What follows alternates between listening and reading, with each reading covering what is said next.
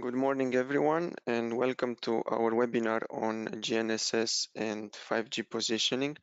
This event is brought to you by European Space Agency and GMV. My name is Florin Grec. I work as a GNSS navigation engineer at ESA, and I will be one of your hosts uh, for today. We have a busy morning ahead of us. And the event of today is organized in two main sessions. In the first session, we will be looking at field measurement uh, results and simulation results involving GNSS and uh, 5G. While for the second session of this morning, we will looking into the future. We will look at uh, PNT 2030 and we will discuss uh, more about um, networks of 2030 and as you can see from the agenda we will have representatives from the industry from the research and academia and also from space. Before moving further i would like to spare just uh, one minute to build common grounds with you the audience uh, regarding 5g so in response to society demands 5G um, is more than just uh, mobile broadband at higher data rates. Mobile broadband, of course, will continue to be one of the important scenarios to be addressed by 5G, but there's two additional uh, scenarios that involve a, a lot of use cases. For instance, the massive machine type communication. So here you can think about um, IoT, you can think about smart cities, and another scenario, very important, is the ultra reliable and low latency communications. You can think here about smart manufacturing or about um, connected vehicles. For 5G, positioning is an integral part of the system design and is expected actually to enable many of the use cases in the ultra reliable and low latency communication scenario as well in the MMTC scenario.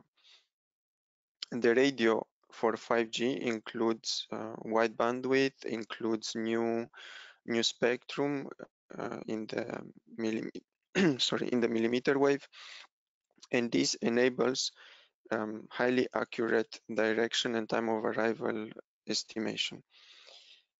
Well, besides these features, 5G supports also ultra-dense deployment and integration of GNSS. And actually, it builds and it makes 5G as a as an ecosystem for positioning services targeting below one meter accuracy. And these are very important elements that uh, we consider at ESA back in uh, in 2017 when we decided to begin working on 5G and GNSS positioning. One of our flagship projects is the GINTO 5G, the GNSS into 5G project, uh, launched in mid-2018 and funded by the European GNSS Evolution Program. And actually, the first session of today is entirely dedicated to to the to show the results and the achievements of uh, GINTO 5G project. This project is implemented by a team led by GMV and includes uh, the German Space Agency, University Autonomous of Barcelona, Telefonica, Fraunhofer, and u-blox. Besides this, we were also very fortunate to, to be able to collaborate with Novatel, Deutsche Telekom, Rohde Schwarz, and ZTE. And later in the um, in in the morning, you will hear uh, from some of them as well. More about this project could be read uh, at the following website. You will have included in the material that we will distribute at the end of the event. Besides the um, GINTO 5G project, recently as part of the NAVISP Element 2 general call for ideas, we launched a dedicated uh, window to for the PNT for 5G and seeking co-funding projects to demonstrate the potential of 5G as a positioning technology in use cases such as uh, industrial automation, so indoor critical applications, but also time and frequency synchronization. The call um, has been closed at the end of February, but I've been told by the NAVISP management that proposals can still be submitted in the frame of the general element to open call. More about this can be can be seen on the NAVISP website and on the ESA YouTube channel where there's a recording uh, about the entire event. Before starting the first session, I would like just to take one more minute of your time to introduce uh, Francisco Jose Mata Rocco. He is going to moderate the first session and he is the project uh, manager of GINTO 5G. Francisco works at GMV since uh, 2018 and he works on GNSS and as a project manager and GINTO 5G of course it's one of the important projects he participated to next to the Positrino NAVISP activity. Welcome Francisco, thank you for, for joining and you have the floor. Thank you. Thank you very much, Farim. I'm gonna start sharing my slides.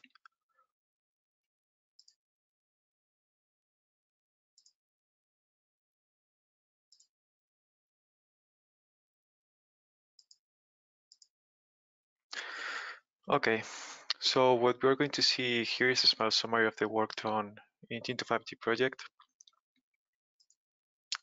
The GINTO 5G project has three well-differentiated objectives. The first one is to evaluate the potential of hybrid positioning based on GNSS and 5G using field measurements. The second one is to develop a system-level simulator for 5G and GNSS positioning. And the third one is to support the ESA in its participation to 3GPP standardization activities. As you can see by the arrows under the first and second objectives, we have two specific talks to explain the work done in these areas.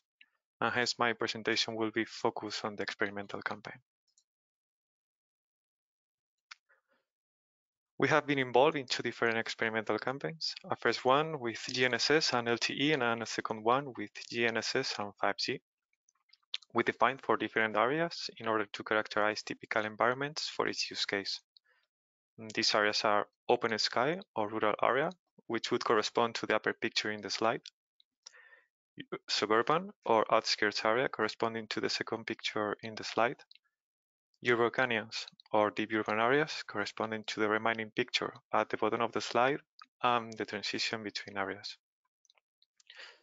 You can see also by the name of the experimental campaigns that we divided the GNSS and LTE campaign into three for the land vehicle use case, the UAV use case, and the IoT pedestrian use case. We have installed a wide range of receivers, IMUs, and correction services from IoT and low-end to high-end equipment. As a more visual experience, we have in this slide some pictures of the platforms used for carrying out these experiments. The first one with the two vehicles correspond to the GNSS and LTE land vehicle experiments carried out in Munich. Just below this picture, you can see the drone used during the GNSS and LTE experimental campaign, carried out also in Munich for the UAV's use case. At the bottom right side of the slide is presented a picture of the IoT box built for the IoT experimental campaign carried out in Madrid. And then the two remaining pictures correspond to the GNSS 5G experiments carried out in Nuremberg. With this wide range of devices, receivers, and scenarios, we intended to characterize the behavior of each system in each environment, having this way a powerful and structured input to introduce into the system-level simulator for 5G GNSS.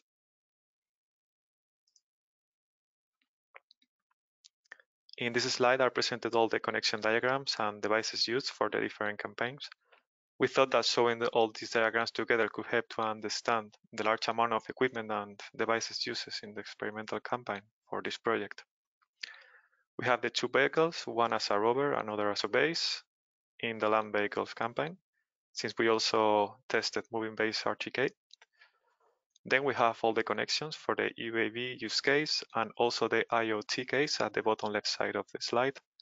And finally, the two platforms with the connections for the GNSS 5G FR1 hybrid and the 5G FR2 experimental campaigns.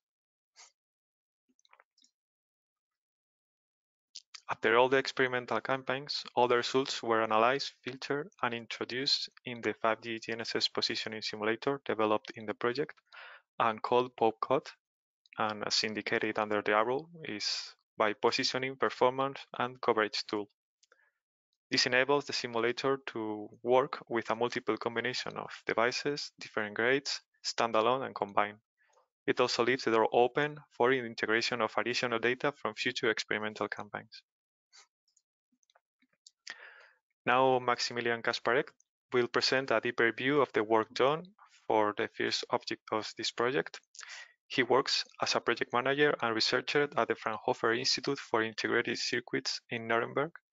His current research is focused on the industrial application of mobile radio communications and precise positioning. Okay, Max, I give you the floor.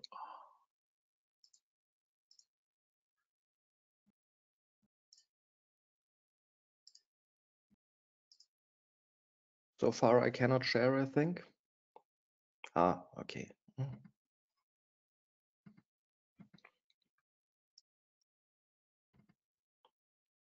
I hope you can see my slides now.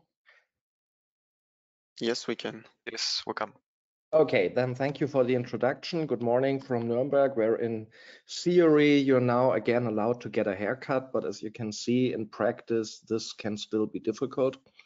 Um, now, our part of the project was the hybrid positioning approach for 5G and GNSS at a campus environment.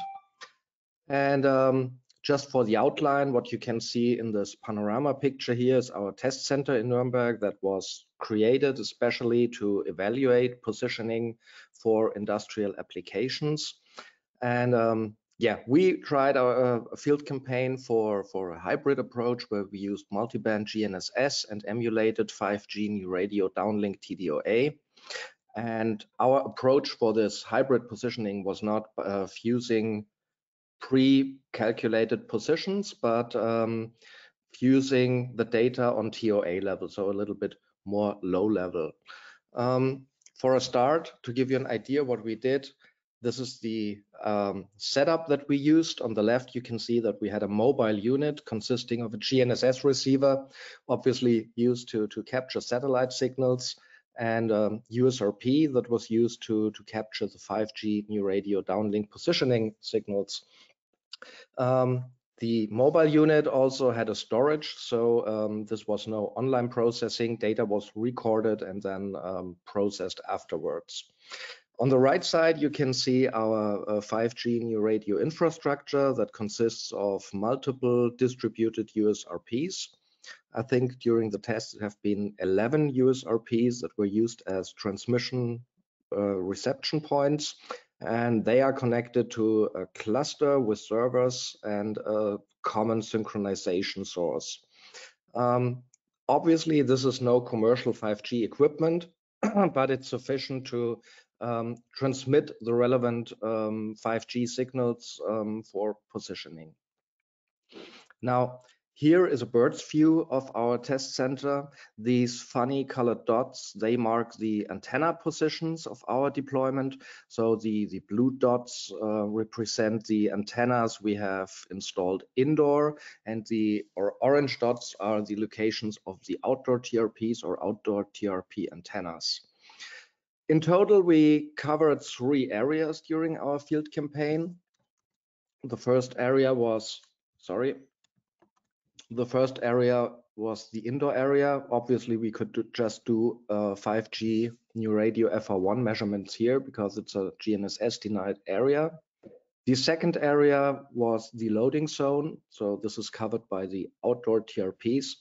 And in the south here in the shadows, you can see uh, what we call the driveway. In the beginning, we thought it would be nice to not have these well-covered areas and also do some kind of evaluation about non-line of sight effects. Um, yeah, what we what we started calling non-line of sight um, driveway uh, turned out to be the non-line of sight hell in the end, but nevertheless some some interesting results that we get there, even uh, if they are not pretty good.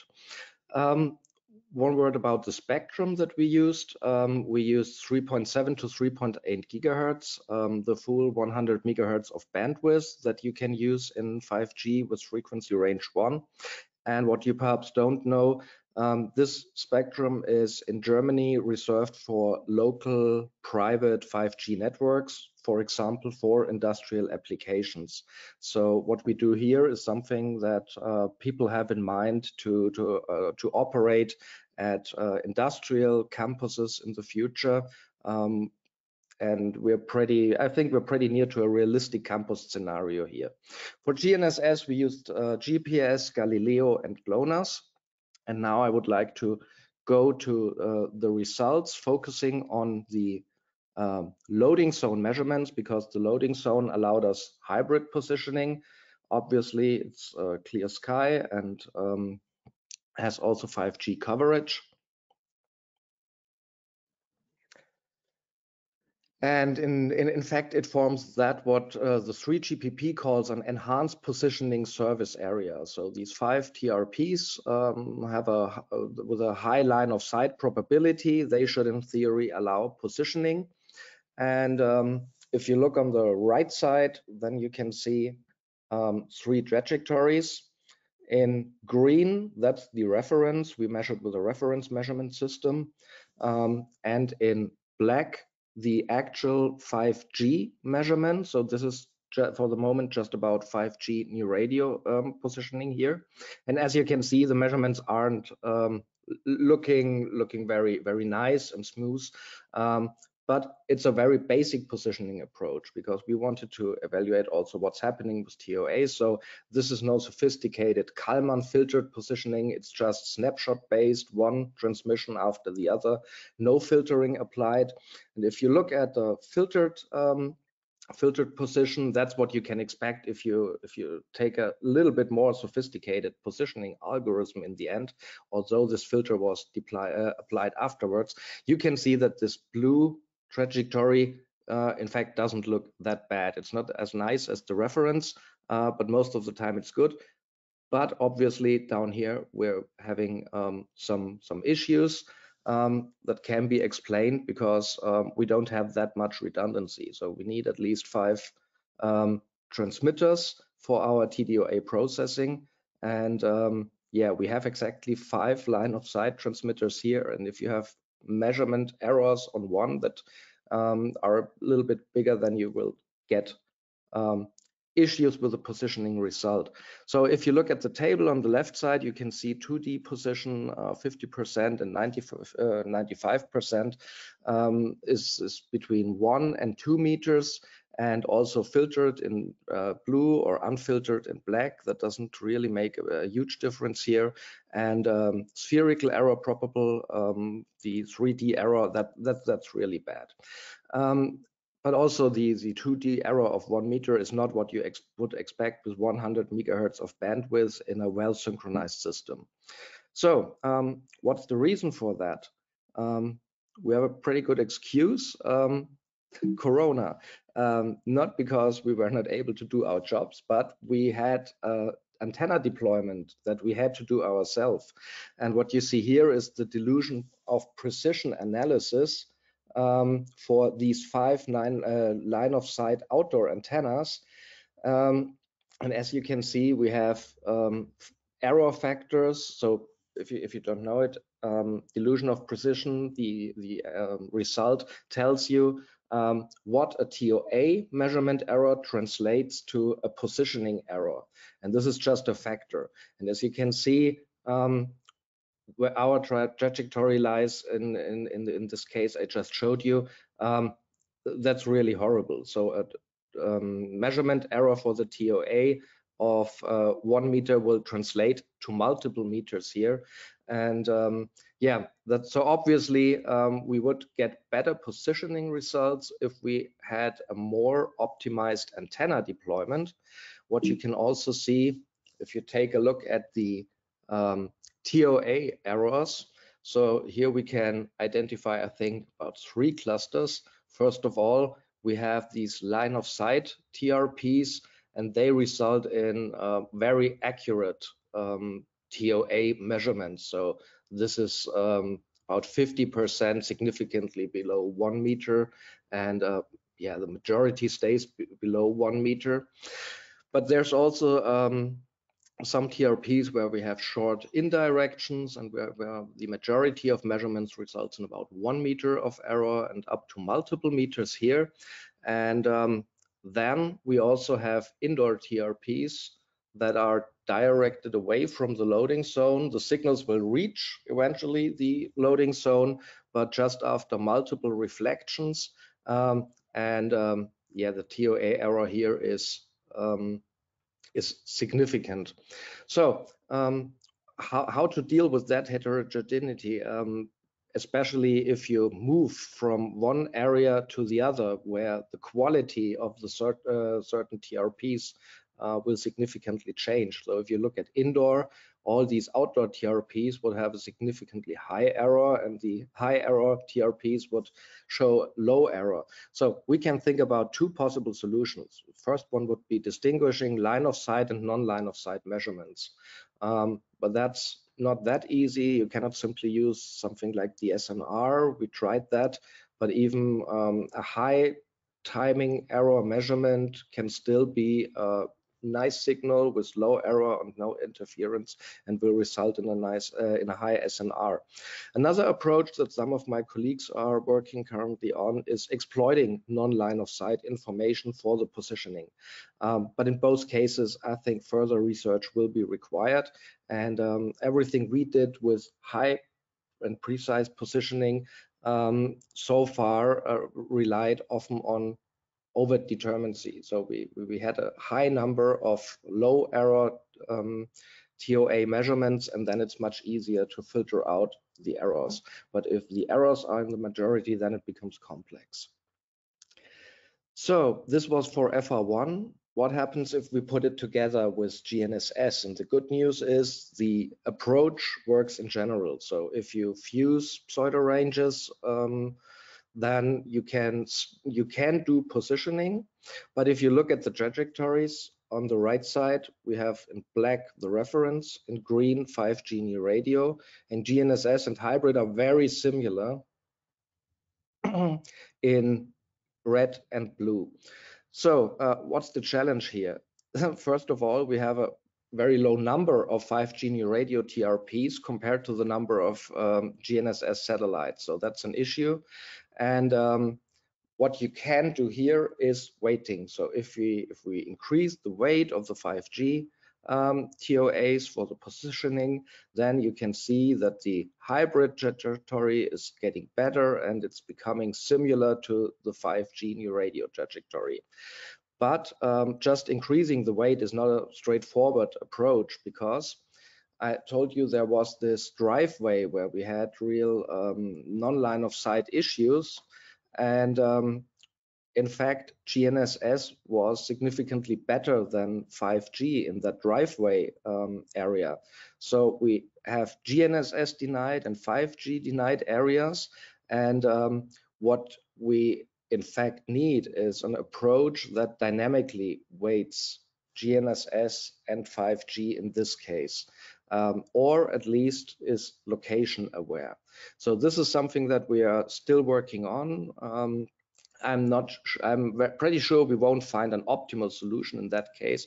So what we're currently looking on um, during the last weeks of the project is the statistical distribution and statistics of contribution for certain satellites, for certain TRPs. This is perhaps um, just a little bit uh, more different. Um, the CDF of the error for in yellow 5G FR1, in blue GNSS, and in red um, the hybrid approach. And as you can see uh, from this trajectories, I wouldn't say that um, yeah GNSS benefits from um, bringing it together with 5G, but here you can see that there are in fact um, certain measurements where the um, GNS, uh, where the uh, 5G FR1 TOAs um, clearly result in a in a better result, uh, clearly result in a lower error than the the hybrid measurement.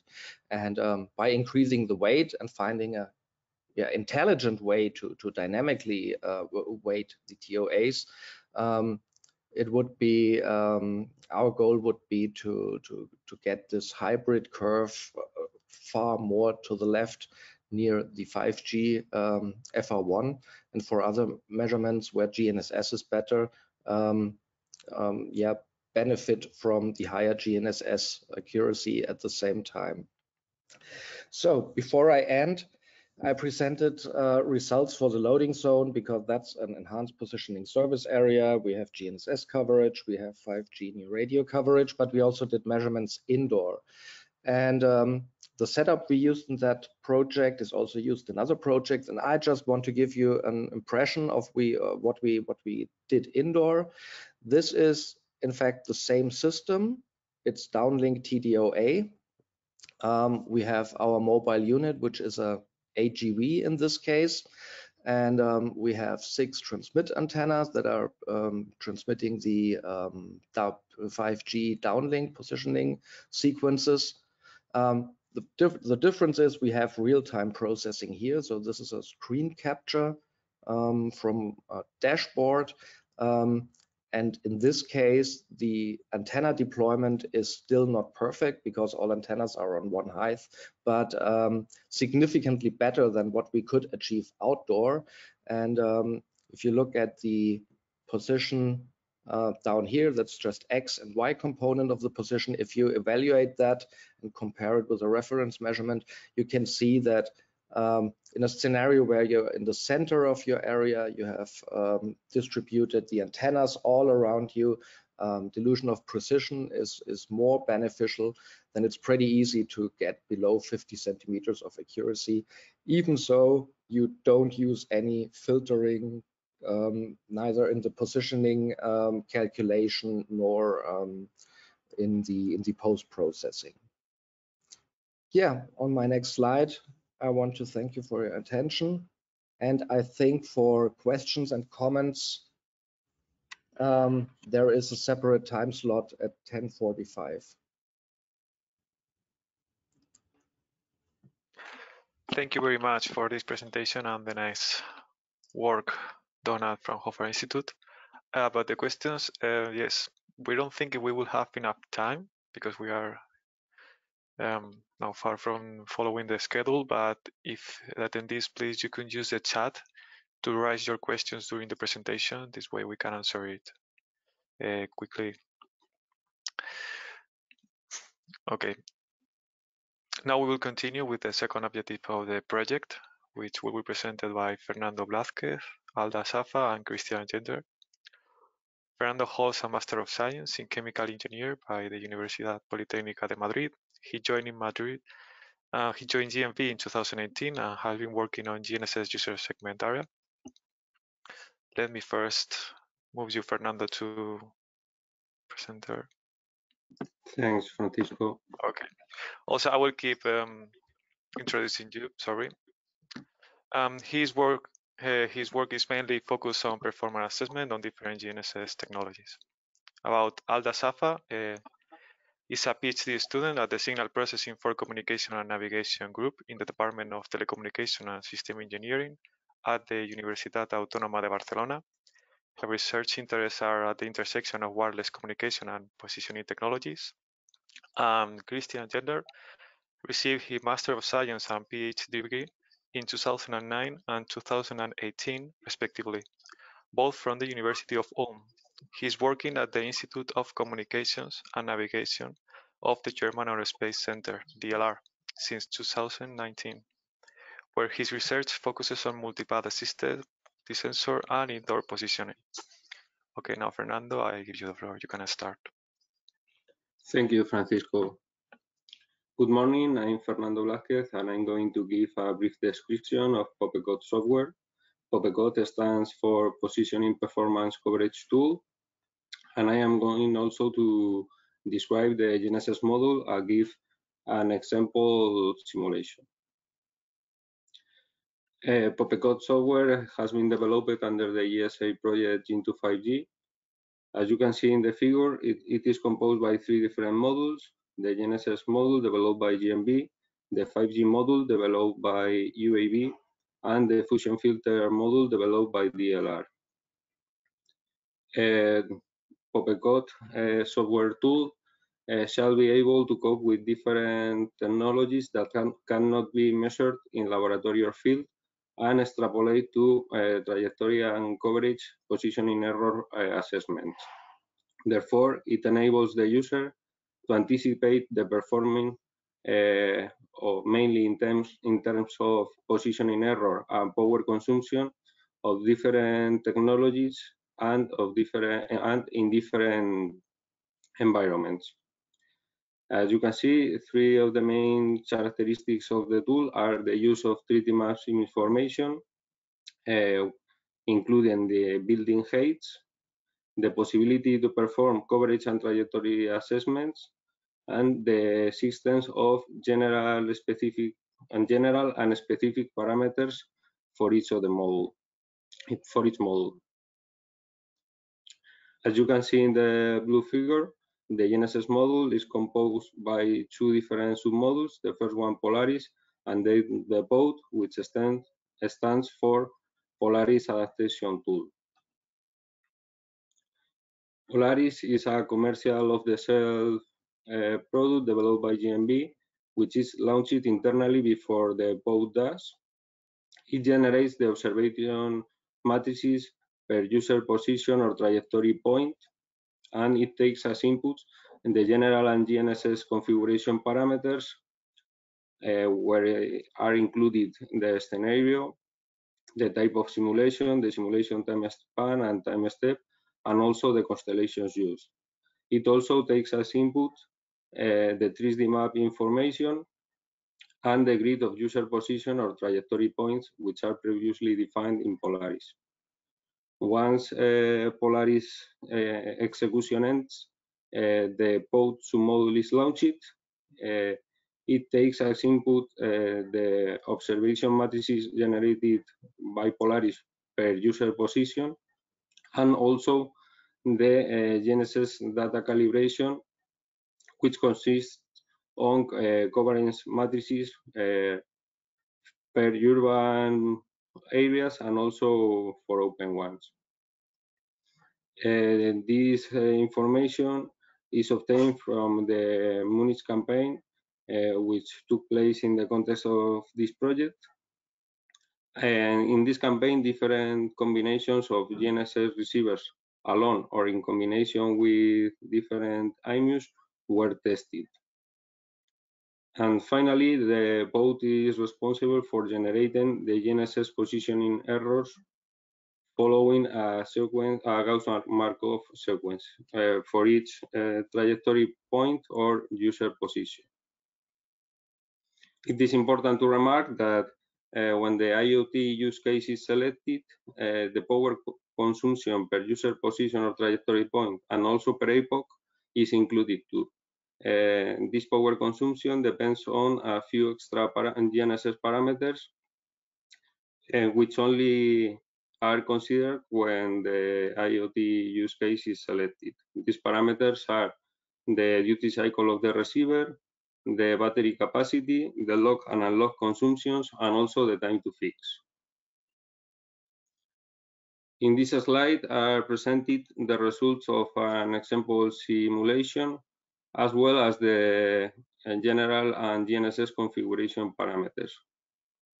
As you can see, this is a coverage assessment uh, with a simulation time span of one day and a time step of 900 seconds using the GPS and Galileo constellation. It uses uh, the low-end GNSS receiver in combination with the low-end IMU. It, it is located in Tres Cantos, and this scenario is selected uh, because it presents a combination of open and urban areas. Because of that, uh, the two different CDF presenting the horizontal positioning errors are presented. Uh, the first one for urban points and the second one for open points. Both of them uh, present follows a Gaussian distribution, and as it was expected, uh, the GNSS horizontal position error is greater for is greater for urban points than for uh, uh, open points. This difference is it's measured with a 99 percentile uh, placing 7 meters for urban points and 2.5 for open points. Sorry, uh, as you can see, uh, this conclusion is also observed looking at the heat map. And it is important to remark that uh, the, the horizontal position error presented in urban areas depends on both the height of the buildings and also the proximity between them. The, the higher amount of buildings and the closer they are between them entails a greater horizontal position error as you can see in the map, the areas with a higher amount of buildings are also the ones with a greater horizontal position error. And finally, three different simulations uh, has been done in order to see the power consumption of the IoT GNSS receiver. The, as you can see, the uh, consumption is lower than the unlock consumption for all the simulations. And uh, the only parameter different between them is the number of constellations used, remaining the, the, the rest of the parameters uh, with the same value. Uh, as, as, you can see, uh, a lower number of constellations entails a lower number of available satellites and therefore, taking into account that the unlock consumption is greater than the log one, the, there are more areas with a higher, higher uh, power consumption than when a lower number of constellation is used. Uh, it is important to remark also that the areas with the highest um, power consumption are the same ones that were presented in the previous heat map with a highest uh, horizontal position error. Now uh, Alda is going to continue explaining the 5G module.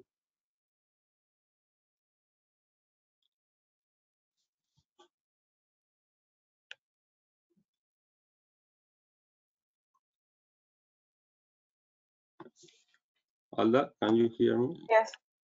Hello. Okay. Good morning. Okay, okay. Good morning, Alda. Uh, well, as Fernando explained, uh, part of this uh, simulator tool is the 5G1 that I'm going to present today, which is composed by uh, four main blocks, the system level simulation that determine the link budget, the LOS propagation conditions, and the power consumption levels. Uh, once these parameters are determined, uh, we go to the physical layer simulation where the ranging errors are modeled using the 3GPP channel models according to the standard. Uh, once the ranging errors are uh, computed, we can now uh, go to the uh, ranging observables that are generated by considering the four, the 5G and the 4G ranging error models that uh, were com computed uh, previously. Once we have uh, the ranging observables, then we can compute the position uh, solution for the 3GPP uh, positioning techniques uh, taking into account also the type of scenario that can be trajectory or coverage and the configuration files with all the uh, parameter inputs that we will explain later on. To the next slide, uh, we can see more insights on what, what is inside these uh, building blocks in the simulation uh, level. You can see all the uh, main uh, blocks where you can uh, first generate the the deployment of base stations, we can uh, we have to remind that uh, there are two possibilities in this simulator. You can uh, rather put predefined pos positioning of BS, the base stations, or you can simulate the base station according to the distance based on the user equipment that are pre-put in a recorded file. Uh, you define the network models. Here we take into account the network inaccuracies uh, that are related to the uh, synchronization uh, errors of the network, determine the LOS conditions, and compute date billing budget. Then we skip to the physical layer where the uh, 4G and 5G uh, physical layer observation are simulated really, uh, according to the signal, type of signal that can be the downlink one or the uplink one that are uh, dedicated to the positioning. For the downlink, we have the PRS signal, and for the uh, uplink, we have the CRS signal.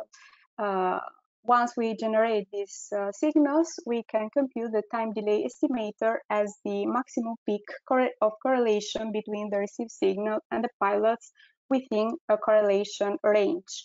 And then uh, we uh, compute the CDF of these ranging errors uh, per SNR of the signals. And then uh, by doing an interpolation, taking into account the LOS probabilities and the SNR, we can compute the ranging errors depending on the system bandwidth that has a range up to uh, 100 megahertz and uh, the carrier frequencies uh, that has a range up to 6 gigahertz that belongs to the first group of uh, the frequencies. Then we skip to the observable generations, uh, having into account the ranging uh, errors. we can compute the observables. here we um, can uh, say that uh, we can have the uh, two types simulated ranging errors that are done by the simulator or empirical models that are uh, ranging uh, errors that are calculated by uh, real computation that are done by companies that were previ previously presenting in this presentation. to the next slide, we have Brink, uh, a, a, scenario that is the same scenario that Fernando explained, uh, but in the terms of 5G uh, positioning. As you can see on the uh, right part of the presentation, we have the base station distribution that are, is done according to uh, radio parameters that we set as input parameters. Uh, in this case, we have only uh, UMI distribution where the base station has an intersite distance to, uh, to 200 meters. Uh, on the left side, you can see a heat map where it's clearly that in the open areas, we have more error positioning than uh, in the center where the density is higher. Uh, to have more insights, we skip to the next uh, slide.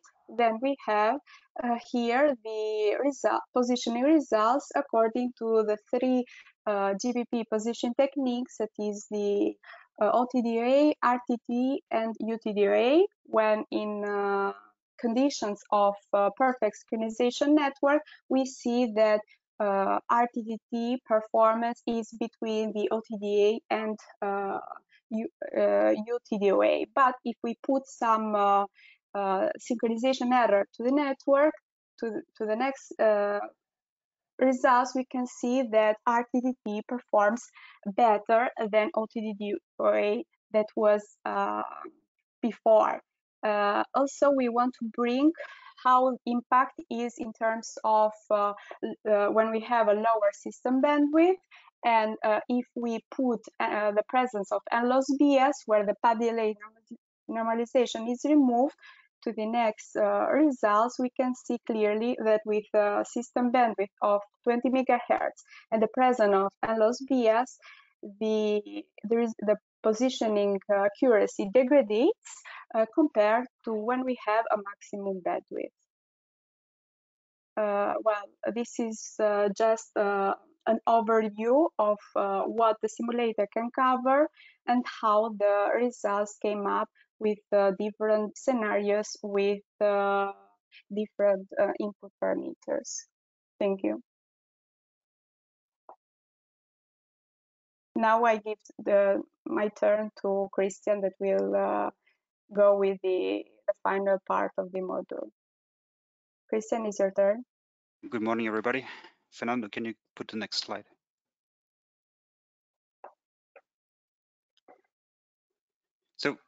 As uh, Fernando and Alda already mentioned, uh, is uh, the tool, the POPECOT tool, and what uh, DLR was doing is we did from the different modules, we did the fusion. That means we took the the measurements from the GNSS module and from the 5G module and fused it together to get a position estimate.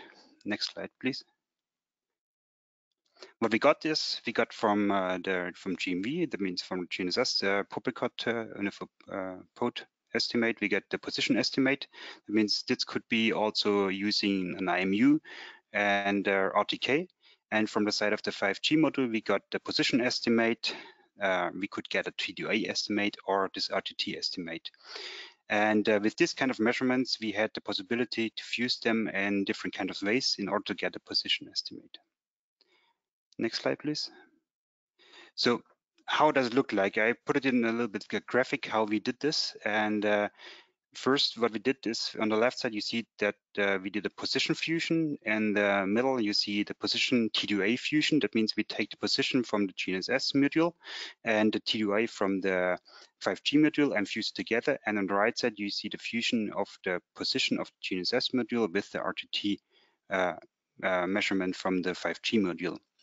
And uh, in principle, in the first uh, row, you see when everything is right accurate, we can get really good position estimate out of it. So for example, on the left side with the position fusion, we see these both circles, the gray circle should indicate their the GNSS position estimate and the blue circle the 5G estimate. And if they're really looking uh, are close and having low variance, we can get a good position estimate out of it. Similar if you have the TDA, which uh, is the hyperbolas, what you see there from between the different base stations. And if they're intersecting and we get in the same range their per GNSS estimate, we can get a really accurate position estimate. And on the right side as well, the RTT fusion, which is which means RTT means uh, it's the line or the the direct path. Means uh, uh, it's the distance measurement between the between the base station and the mobile user, and that means uh, the position would lie on, on a circle.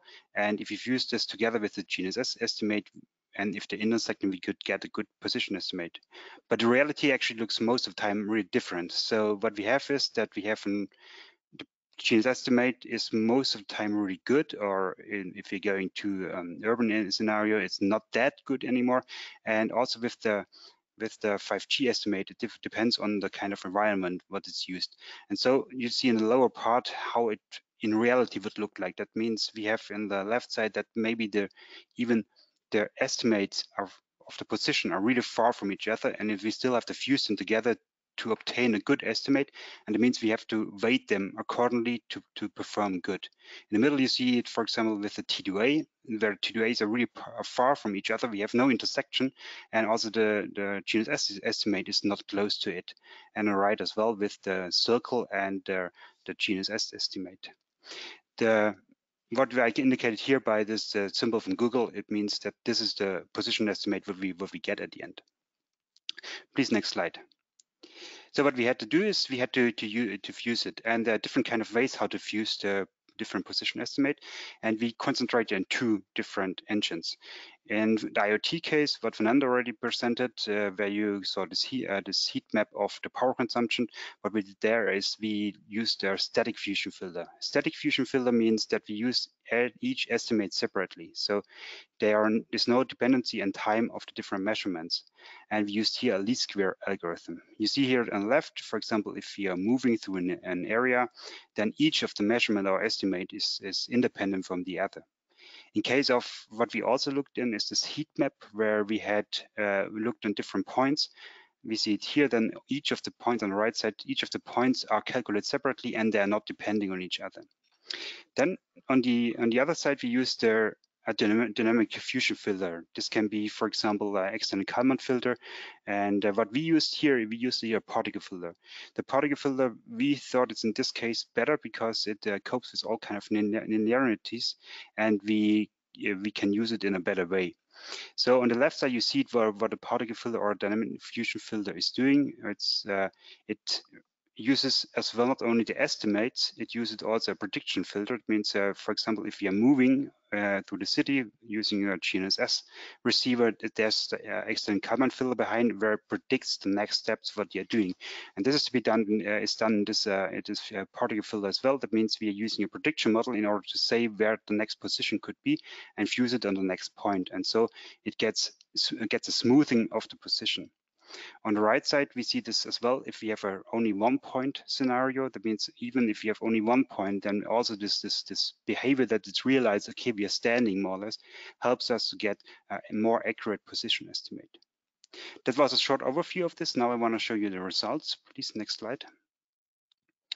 We saw this, this, this uh, more or less slide already. This is the scenario we were looking on in uh, for this uh, simulation or uh, for this uh, presentation. Here we see the different points where we where we had a look on. That means this is uh, I think it's Tres Cantos uh, in near near Madrid. We have a look where we have an urban scenario and an open scenario, and we had a different measurement points where we were looking. This uh, this uh, indicated by blue. That means in these points we did the evaluation. Next slide, please. And then we can see here now the result. So what we see here, we see in blue the pole position estimate, and then in red the 5G estimate, in uh, yellow the, the fusion of PODE and 5G position estimate, and in purple then the uh, uh, fusion of PODE position, and in this case T2A. What we first see is that uh, the 5G, uh, the PODE position estimate with the 5G position is better than the PODE position with the 5G T2A position. And actually, this is something which is, I would say, weird because usually if you have go look on the raw data, which is the 5G TDI and not a position, this should be performed better. And in general, it's like this. But what we have here is uh, that uh, in the simulation from the 5G, uh, 5G position estimate, uh, there's assumed that the knowledge of the error of the T2A estimate for calculating the, the position. And that's what we don't assume here. So that's why we have one information less, and that's why the, the accuracy is not so good. If you now look on the different as in uh, different kind of uh, uh, environments, we see here on top then the open environment. And uh, what we see here really clear in this open environment, the 5G estimate is not that good compared to the compared to the uh, the GNSS estimate. And if you look on the urban environment, which is lower part, we can see it's flipped around. So in this case, actually, the PODE position estimate is not as good as the 5G estimate. And uh, if you go to the next slide, we can see this now also in the heat map. These are the heat maps uh, which were presented already by Alda and by Fernando. And now we have here on the left side the PODE position and in the middle then the 5G position. And both scales are equivalent. It means going from zero to five meters uh, um, as maximum and then more than five meters is totally red. So we see here that the PODE position is performing really good in the open areas and in the urban areas it's rather low, I would say. And, uh, and the 5G position is uh, we have a good accuracy in the in the urban area and uh, lower accuracy in the open scenarios, depending on the number of base stations what we have here. So on this one, we if you want to fuse this now, we are more or less taking the these two measurements and put them together. So next slide, please. So what we can see now, it's we see now the fusion, and we see that with uh, both fusion algorithm, we are able to combine the good values more or less from the PODE position and the 5G estimation and in a fusion kind of sense in order to improve the position estimate. And that's what you see on the lower with uh, with the PODE position and the 5, uh, 5G OTDA estimate on the left. And we see here that we are a little bit worse in this in this uh, in this uh, urban areas. And on the right, where we've used, I just uh, said before, where we've used the PODE position and the 5G position, we are more or less accurate in all kind of areas. Thank you.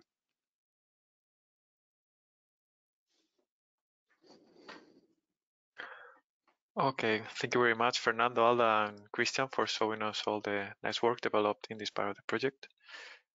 Mm, I'm gonna share now Okay. So Daniel is the next panelist. He's a software developer at Broadsworth, and he has been working for three years in location-based services department. Among other projects, he developed the first prototype for an RTK positioning simulator. Uh, we're uh, very if, if, please I will encourage you to go a bit faster because we will need to have like at least five minutes of question and answer and also the next presentation let's try to to recover the time. So okay daniel i give you the floor. Thank you very much. Thank you as well. Um, good morning from munich and thanks a lot for having us. Okay so let me jump right into it. Um, when we talk about uh, traditional GNSS positioning, we talk about accuracy in the range of um, without going into details, um, by utilizing um, correction data streams, it is possible to um, achieve centimeter level accuracy. Um, one of these techniques is um, called RTK, which is short for uh, real-time kinematics. And that is uh, what we built or what I developed uh, with my team um, a prototype for a simulator for to simulate an RTK environment to test um, RTK receivers. Um, so, but first, um, let's answer the question how such correction data um, arrives at an RTK simulator. There are several um, several possibilities uh, thinkable. Uh, one way would be to broadcast uh, via a satellite signal. Another way would be to utilize um, system information blocks in the, 5G protocol. Or finally, um, which I think um, would be the most flexible and straightforward option, is to just use top IP communication um, channels um, using LTE and 5G networks. Um, since the technology has been around for quite a while already, there's a, a variety of existing standards to choose from. Um, specifically, I want to point out here that in 3GPP's uh, specification for LPP and SUPL, message formats for um, GNSS correction data are already defined. Um, that way, 4G and 5G networks um, could easily be used to broadcast correction information even today.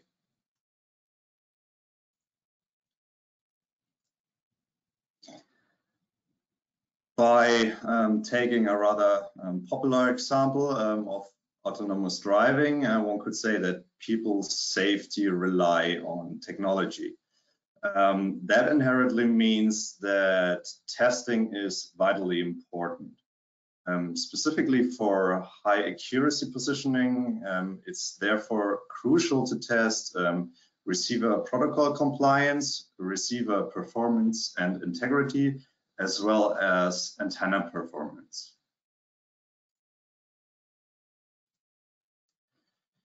The test setup, um, Rohde and Schwarz, uh, aims to provide for that, um, looks like this. We have a, a satellite simulator um, paired with a 4G and a 5G network simulator, and uh, those are connected to DUT. So the DUT is directly connected, uh, receiving an RF signal from the um, satellite signal simulator, um, whereas the correction data will arrive at the DUT um, using, for instance, uh, 5G NSA um, link.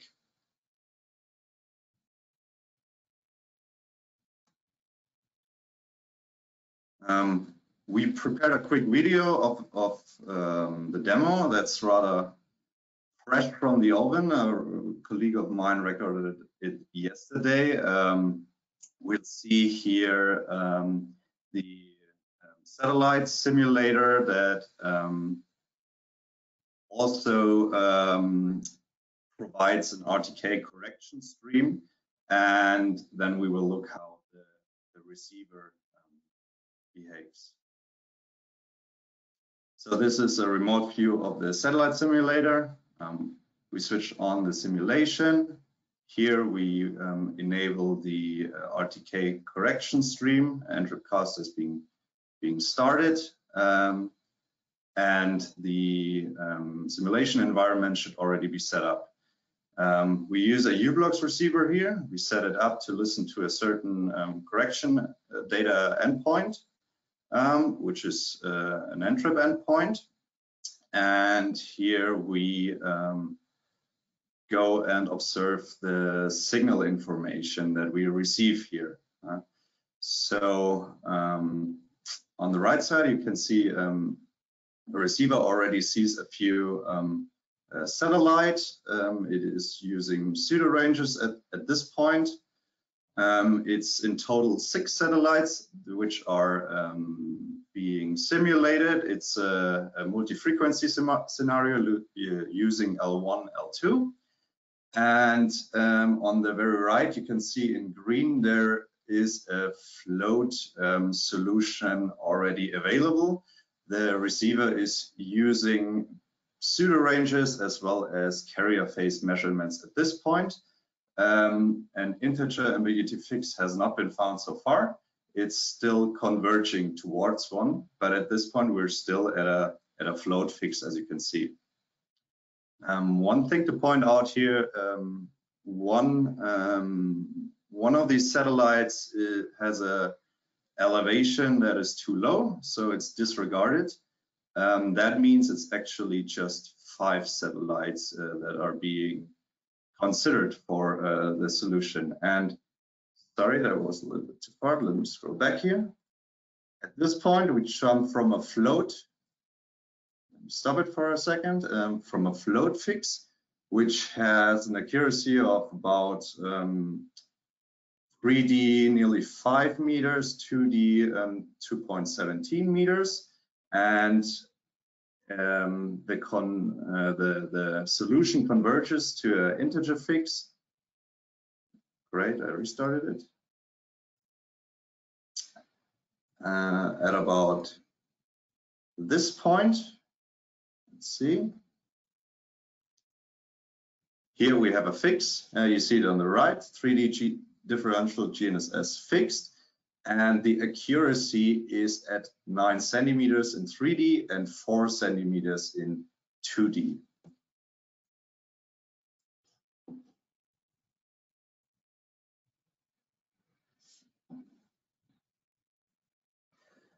Um, here we can see um, the simulator um, working with a different um, receiver software. This is RTKlib, which is open source. Um, and we also um, wanted to show a different scenario. It's, um, it's single frequency multi-GNSS. You see in total um, 12 satellite, satellites um, for each um, four satellites from um, GPS for Galileo and for BeiDou, also resulting in, in a solution fix or in an integer ambiguity fix, which you can see on, on the left here.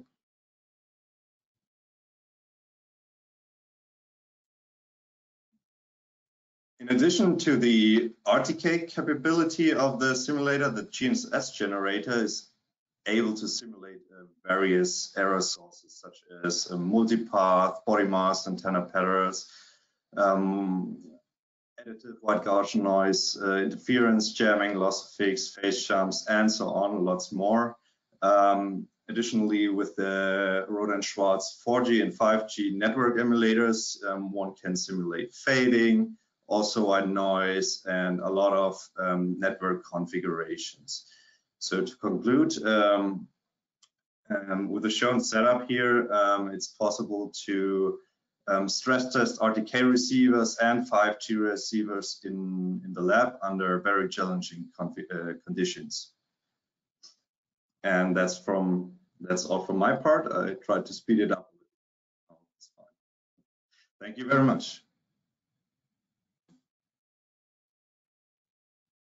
Thank you. Thank you very much, Daniel, for such a nice and interactive presentation. This is the end of the workshop session one. We will have now the coffee break until 11. And we will also solve some of the questions raised by the attendees during the presentations. Fran, I have a question that mm -hmm. I want to raise. I will take it in the order of the speakers. So first question is for Max. It's uh, it's about the positioning results in the loading zone, so that the first set of the results uh, were following closely the true trajectory, but in the second set of the results for the same scenario, there seems to be some displacement between the the measured position and the true trajectory. Any idea or why that might have happened? Um, so the positioning calculation was a little bit different for the 5G alone and the hybrid um, measurement. For the hybrid measurement, we did um, some some weighting for the um, TOAs that didn't always go well. And um, also different reference um, TRPs were used. That was a little bit unlucky, but um, if you if you um, have just five TRPs, you have to choose one as reference for your TDOA, and depending on the TOA quality of this one TRP, um, everything might be a little bit different.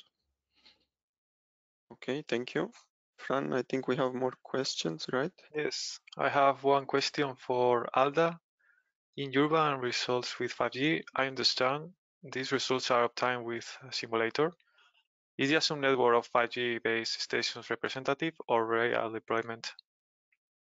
Uh, well, in the simulation that we presented today are the simulated base station, are not predefined uh, base station deployment.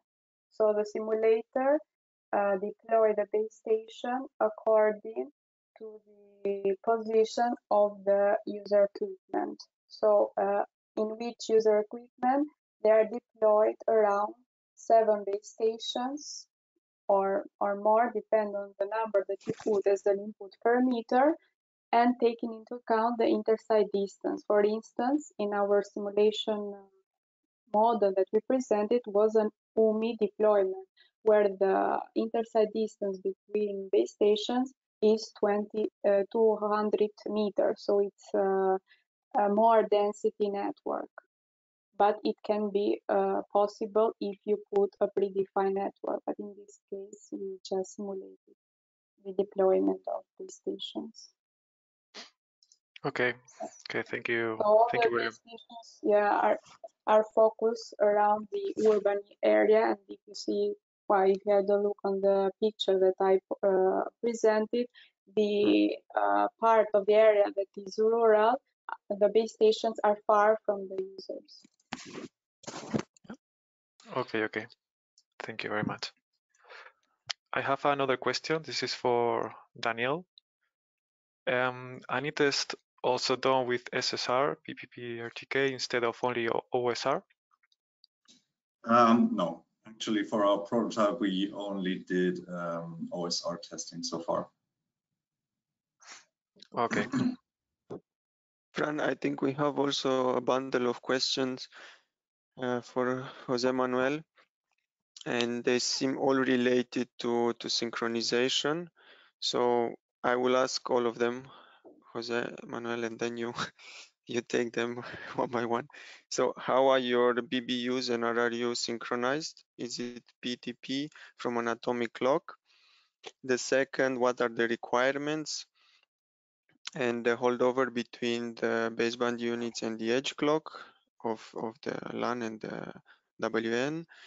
And the last one, how to aim of tackling the issue of synchronization in GNSS uh, denial environments, uh, for instance, jamming and so on. Mm -hmm. Well, for the BBU synchronization, we have several kind of, of uh, options. We have the PTP and we have also the GPS. Uh, when we are talking about deploying 5G networks, we also recommend to our customers just to have a better accuracy, just not for, for the positioning, but for, for the mobility between the intercell site selection. Uh, we also recommend the GPS synchronization for, for, the, for the BBU. So that's the mainly, let's say, uh, tool that we are going to use for deploy 5G using the, the GPS synchronization. In 4G, is is is uh, it's true that um, other methods uh, can be can be used, but for 5G, the requirement and what we recommend is GPS synchronization. Okay, thank you. Okay, thank you very much for all your your answers. Now we are close to 11, so I think we the remaining questions we will will be answered offline and sent by email in a in a few days. Now I will introduce Lionel Gui. He will moderate the second session of the workshop. He is head of the Navigation Radio Navigation Systems and Techniques section in the Directorate of Technology, Engineering and Quality of ESA, the European Space Agency. He joined ESA in 2016 as a radio navigation system engineer, supporting activities on future navigation system and concepts, both at infrastructure and user segment level, as well as on standardization of 5G positioning in 3GPP. Beforehand, he worked in CNES, the French Space Agency, first supporting GNSS-related R&D activities, and AC on Galileo, then leading CNES section for localization, navigation, signal, and equipment. Okay, Lionel, I give you the floor. Do you hear me and see my screen? Yes, we hear you and we see you. Okay, so I will. Uh, so this morning, panel one was about uh, 5G, and presented uh, the many opportunities and ongoing uh, development demonstration relating to uh, positioning. With uh, panel two, I propose you a projection in in the future beyond 5G and aiming at the 2030 horizon. So we will have uh, on the agenda, why isn't it uh, moving to the next slide? Yeah, exactly, perfect. Uh, so our agenda will uh, contain uh, five presentations. I will uh, introduce later on um, the speakers. a Q&A, but I would like to start with with a poll. Two questions. The first one will give you a single choice, and the second one will give you a multiple choice. As an introduction to the panel, uh, we will talk about mostly perspective by 2030, so IMT 2030, which is also known as uh, 6G. 6G standardization roadmap is sketched on, on this slide extracted by a roadmap proposed by uh, industrial stakeholders of 3GPP, uh, like uh, Huawei, for instance, uh, showing well what is happening and would happen in WRC with incoming WRC 2023 to discuss allocation about 6G and uh, RC27, which might be the allocation of uh, spectrum to 6G. You also see on this timeline the evolution of 5G. I release 15 is available, release 16 and uh, 17 as presented beforehand are on the development and will be soon available. 5G will continue to evolve uh, in parallel of uh, 6G with uh, additional uh, releases. And on ITU-R, you will see that, well, beside 5G evolution, there will be investigation on technological trends, a vision, KPI, mission drivers, why, when, 6G proposal, and what will be important and probably the ground for our talk in the incoming minutes is the technological background of 6G. There are ongoing research. What are the capabilities? What are the new technological enablers that can uh, motivate and push 6G uh, beyond 5G? Uh, so this will be our main topic. I will now introduce you quickly the two questions for the poll. I think you will have about 30 seconds to address uh, both of them afterwards. The first question about positioning accuracy. You have a single choice. How do you see the evolution of positioning accuracy in mobile cellular networks over the next 10 years? You would select one answer, one among the following, one meter, 10 centimeter, zero, one centimeter, or 10 meter.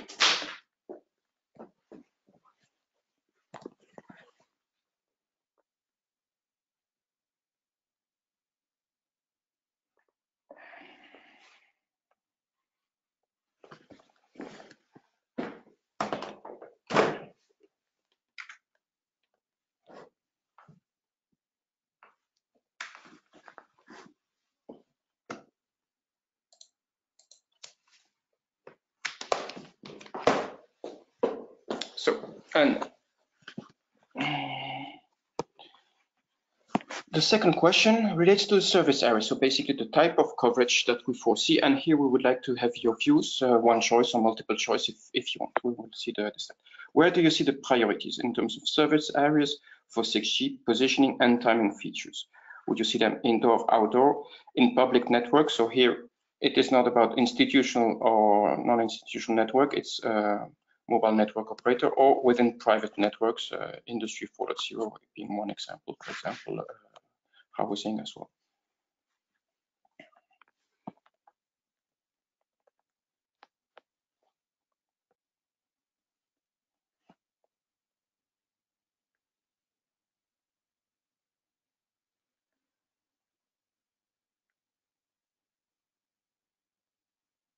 We have about 45% of the votes and I think we can wait a bit more, couple more seconds before we close the second poll.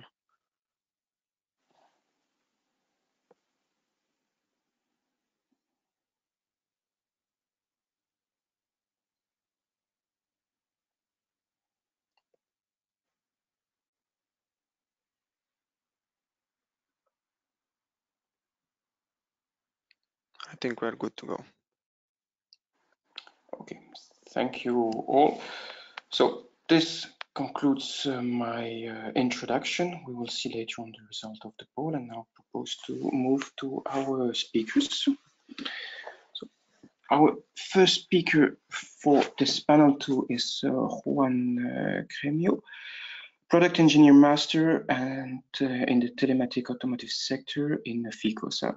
He holds a PhD in telecommunication by the uh, Universitat Autónoma de Barcelona, UAB. Uh, Juan has been working more than six years in Ficosa as product engineer master, working in the development of new telematics and high accuracy positioning products for automotive market. As product engineer, he is involved in the development of new products with the latest technology, including V2X, 5G, high accuracy chipsets. He also works as associate professor in the University of UAB. Juan, the floor is yours. Hello, good morning, everybody. Good morning from Barcelona. I hope that you can hear me and see the screen that I am sharing. Perfectly. Okay, perfect. Uh, as he mentions, I work in Ficosa. It is a company in the from the automotive market. Okay, and the idea of today it is make a quick overview of what which which is let me say the application of the 5G, 6G communication systems, and also the GNSS positioning systems in the in the automotive market and how we see the the future. Okay, as I see, as I said, I work in in Ficosa. Ficosa it is an automotive tier one. Tier one it is a supplier of components for the main car manufacturers. Okay, uh, we are located in in Barcelona. It was a company started in 1949 uh, more focus in the mechanical parts like cables, mirrors, and these things. But in the last years, it has evolved to introduce also an important technological technological products in the in the portfolio. Here you can see, let me say, the different business units of the company. Initially, we started, as I mentioned, in the rear view systems and command and control. Okay, but recently, during the last 15, 20 years, they have introduced a new, more technological business area that I think that are key key components for let me say the vehicle of the future and for the automotive autonomous driving. You can see that we have mobility components, ADAS cameras components, and also uh, the business unit for where I come from, that it is advanced communications. Okay, in this business unit we work in all the systems related to communications, 4G, 5G, and also to positioning as I mentioned, one of the one of the questions that I want to try to answer it is which is our vision of the vehicle of the future. I mean, if somebody asks me, what do you think that it will be the vehicle of the future? I think that it can be summarized in three main words. The first one, it is connected. I think that connectivity will be one of the key components of the vehicle of the future, and it is something that today it is already going inside the market. Now we already have telematic control units in most of the vehicles, now for the emergency call and some basic services. But let me say, I think that it is something that is growing up with more multimedia services, infotainment, entertainment, and all these things in the vehicle.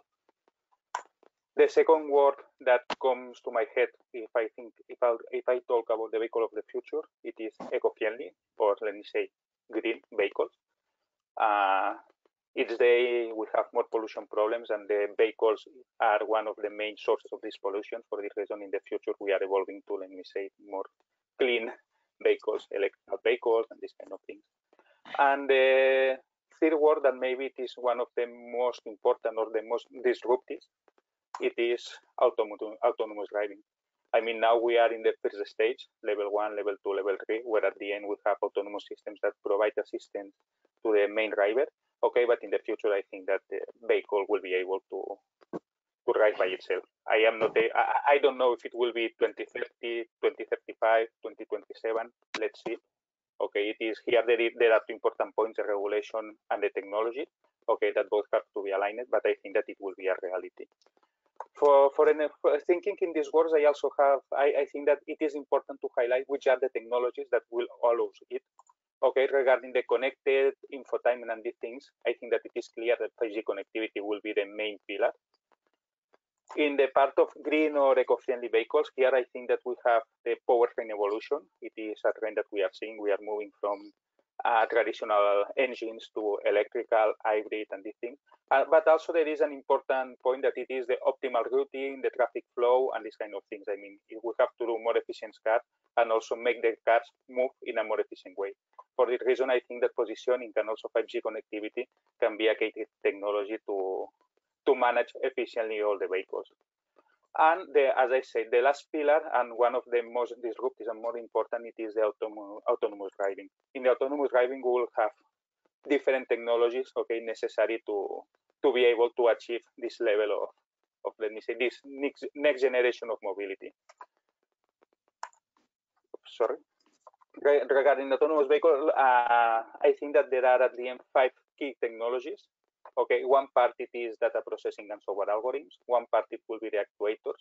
Okay, but apart from that, I think that there are, let me say, three very important pillars of technologies. Okay, that will make uh, would make this evolution possible. When you talk, uh, when you think about uh, autonomous driving, maybe everybody thinking about ADAS, cameras, and radar. Okay, this is a very important part. Okay, but it is not everything. With cameras, ADAS, and radar, you can know what is happening very close to the vehicle. You can know what is happening at 50 or 100 meters from the vehicle, but you don't have any other information. For this reason, I think that these two technologies, additional technologies, positioning system and connectivity, 5G, are also key players to be able to achieve the autonomous driving. Uh, and they are related with the with this talk and the project. I mean, positioning it is a key pillar. It is clear. High accuracy positioning. I mean, to make autonomous driving, we have to meet the position of the vehicle, know what it is, and uh, and with very high accuracy levels. I mean, we have to know if we are going uh, in a highway, if we are in the middle line, lane, in the right lane, or in the left lane. Okay, to take the decision. There therefore, high positioning high accuracy positioning systems are one of the key components, especially in, in outdoors uh, environment with GNSS and these things. And I think that also we'll see an explosion of positioning systems for indoor environment, for parkings and these kinds of scenarios. We, we will also need a positioning solution. And the second technology uh, that it is also very important, it is the connectivity uh, 5G, here we are not thinking only on the cellular connectivity, we are also talking about the direct connectivity between vehicle to vehicle, okay, with car-to-car -car communications or V2X, cellular V2X technology. That it is a technology that at the end allows that the different vehicles talk between them. This is, this is very important because with the ADAS we can know what is happening very close to the vehicle. But with the connectivity between the different vehicles, we can know what, what is happening farther away. I mean, for instance, if one vehicle detects a dangerous in a highway, they can say to all the other vehicles that are coming behind them, be careful that one kilometer here there is a danger. Okay, for the reason I think that this connectivity gives an enhanced range, okay, of the perception systems.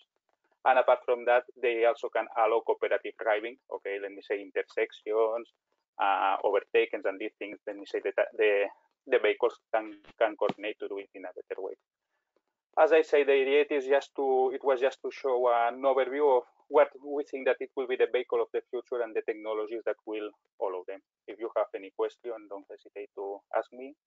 And thanks for your assistance. Thank you, Juan. So I think we will keep the question for for the end, and uh, we'll also see with the with the result of the polls uh, how much time we can allocate to to all of them. Uh, thank you very much. So we'll now pass the ball to our next speaker from uh, GMV, Enrique Dominguez Tijero, who works as a GNSS and multi-sensor navigation expert in uh, GMV and holds a Master of Science degree in Telecommunication Engineering and a Master in Space Technology. He joined GMV in 2000, first working in development of EGNOS and Galileo, and since 2009 in GNSS software receiver, multi-sensor fusion, integrity algorithm, localization system for autonomous vehicle, and also 5G position. Enrique, the floor is yours. Okay, uh, thank you very much, Lionel, for the introduction and good morning to all the attendees. Can you see my screen? Yes? Yes.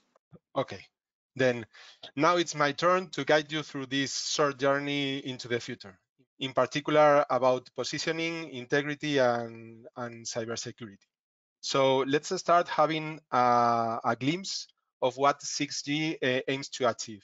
Okay, 6G vision uh, is to connect human, physical, and digital worlds uh, with a fabric of 6G key enablers.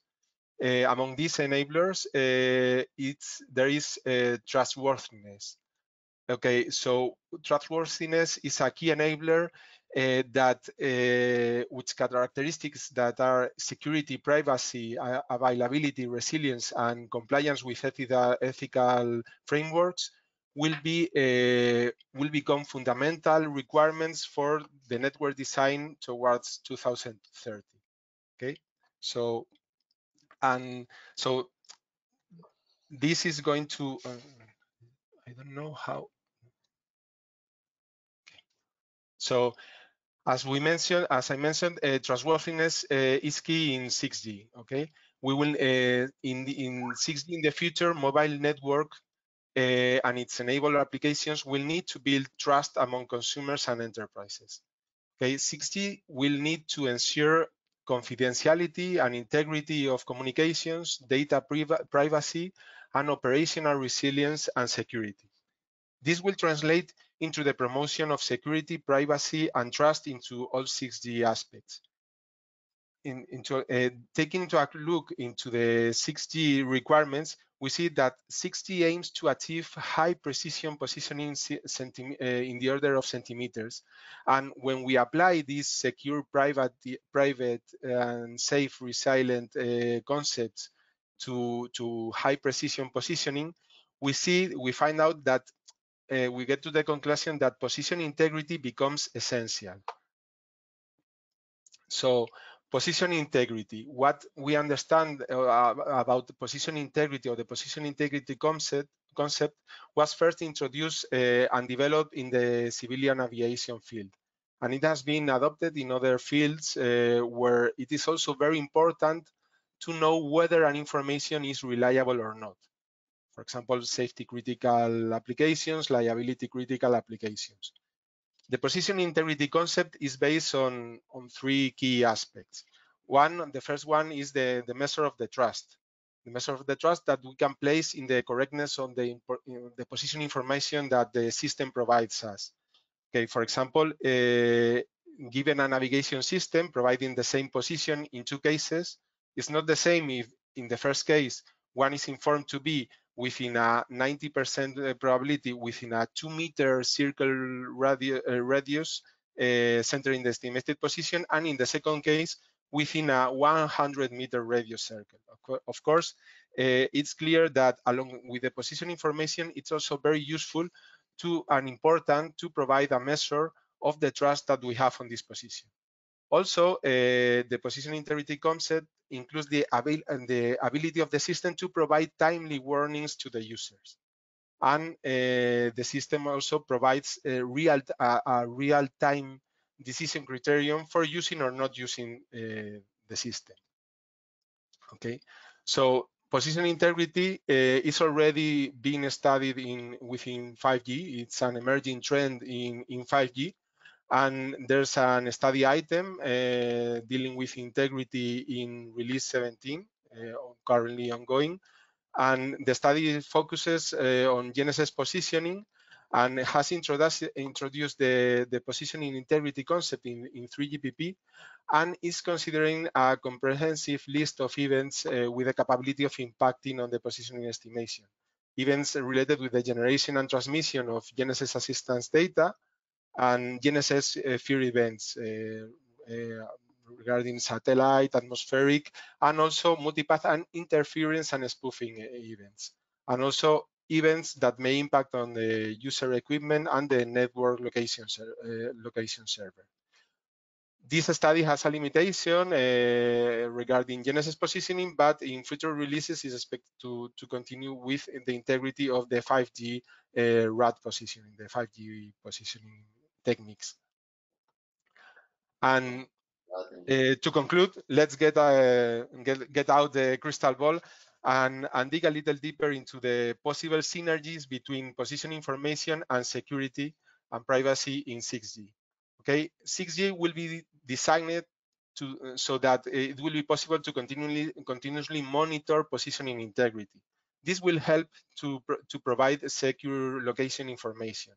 This secure location information will, the forecast is that it will be uh, increasingly used in a security as a security parameter for digital interaction interactions in in more general context. Imagine surveillance systems, payments, automated driving, uh, health monitoring, etc. Also, uh, we have uh, the the issue that in order to reduce power consumption for IoT and and to enable massive location location-based connectivity for, so for IoT, it is likely that network and cloud-based loca localization solutions will become much more widespread than uh, what we usually do now, that is uh, provide positioning uh, using our own device, the device and its uh, based localization solutions. So the, the network and the cloud-based localization solutions will be more important or will, will take a major role in, in positioning uh, computation.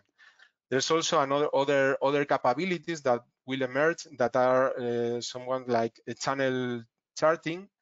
That is, this consists on applying machine learning to channel state information, uh, generating a, a, pseudo map uh, where the location of the different users or more user CSI can be tracked uh, consistent, consistently uh, across the users and over time this is not a, this map is not uh, physically representative, but can uh, can provide you a relation between proximity of users and, and is very useful to enhance numerous network functionalities.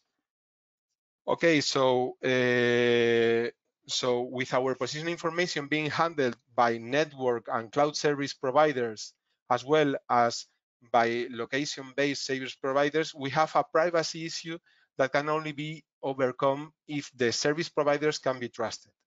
Okay, this implies a challenge for the service providers that will have to protect themselves even more and reduce uh, vulnerabilities and prevent uh, attackers to exploit them in order to uh, avoid the misuse of the information of, of, of the users. So I hope uh, you enjoyed this short trip to the future and thank you very much. Thank you, Enrique. Uh, well, we're almost in time, a little bit delayed, but it's not much. I will then pass the floor to uh, Florin and be quick on uh, the biography. I hope you will agree to to have a short bio, Florin, as you already presented. So Florin received his Master of Science uh, degree in Geomatic Engineering from uh, Milano in 2015. He's currently working in the Directorate of Navigation in ESA, where he contributes to R&D and thought on new paradigm for space-based navigation and hybrid positioning based on GNSS and of course 5G. Florin, the floor is yours. Thank you, Lionel. I will try to use a new platform for more interactive presentation, so I hope the technology will not fail me now, especially when we're we, about to talk. We are futuristic this morning. Yeah, yeah, indeed. So I will just uh, like to share with you how I see the networks of 2030 and how space and uh, ground can be brought together for the benefit of the user. As a first point for me to remark, um, just two PNT trends that in my view, are very relevant. At least I consider them to be very relevant uh, today and also for the future. Network-based positioning has become more and more ambitious in a matter of a decade. So we have the 50 meter of E911 in 4G, and today in 3GPP we talk about sub-meter positioning accuracy to to enable many of the commercial applications uh, that these networks should supposed to, to address and enable. So that was the first trend, and I think it will continue uh, throughout the decade. A second trend I am seeing it's the integration of connectivity and PNT services into one system. And hopefully this system will be able to provide global coverage And for instance, an initiative in this direction is the Geely mega constellation in, in LEO, which aims to provide uh, broadband connectivity and navigation information to its fleet of autonomous vehicles. And I'm sure that we will see more and more of such initiatives, private and maybe even public, uh, aiming at the same um, same items. Well, of course, we have to, to look also to GNSS today and the future. And regarding GNSS, today we have four GNSS systems and all of course are operational. And we have also a number of regional navigation systems. Uh, during this decade, I believe all the GNSS systems will go through a modernization phase and will, the providers will gradually introduce new services and uh, capabilities. In addition to that, I also believe that we will see um, soon some additional regional navigation satellite systems becoming operational, for instance, South Korea or the United Arab Emirates uh, uh, concept. Then, besides GNSS, in 2030, I think we will be discussing also about new networks, so new solutions. And I like to, to refer to this new network as a unified satellite and terrestrial networks. And the idea is to rely on satellites to achieve better coverage uh, of, uh, of users and to integrate the satellite uh, with the terrestrial component and to build a, a 3D network. So this concept is already in study for a couple of years in, in 3GPP under the non-terrestrial networks uh, studies and work items. And I think together with GNSS, uh, users then could fully exploit the potential of uh, radio-based navigation. So we can think about this uh, decimeter level positioning accuracy everywhere we can think about ubiquitous coverage and so on. My expectation is that these uh, unified satellite and terrestrial networks first will put more emphasis on addressing the connectivity and the communication parts, much like in the traditional uh, networks.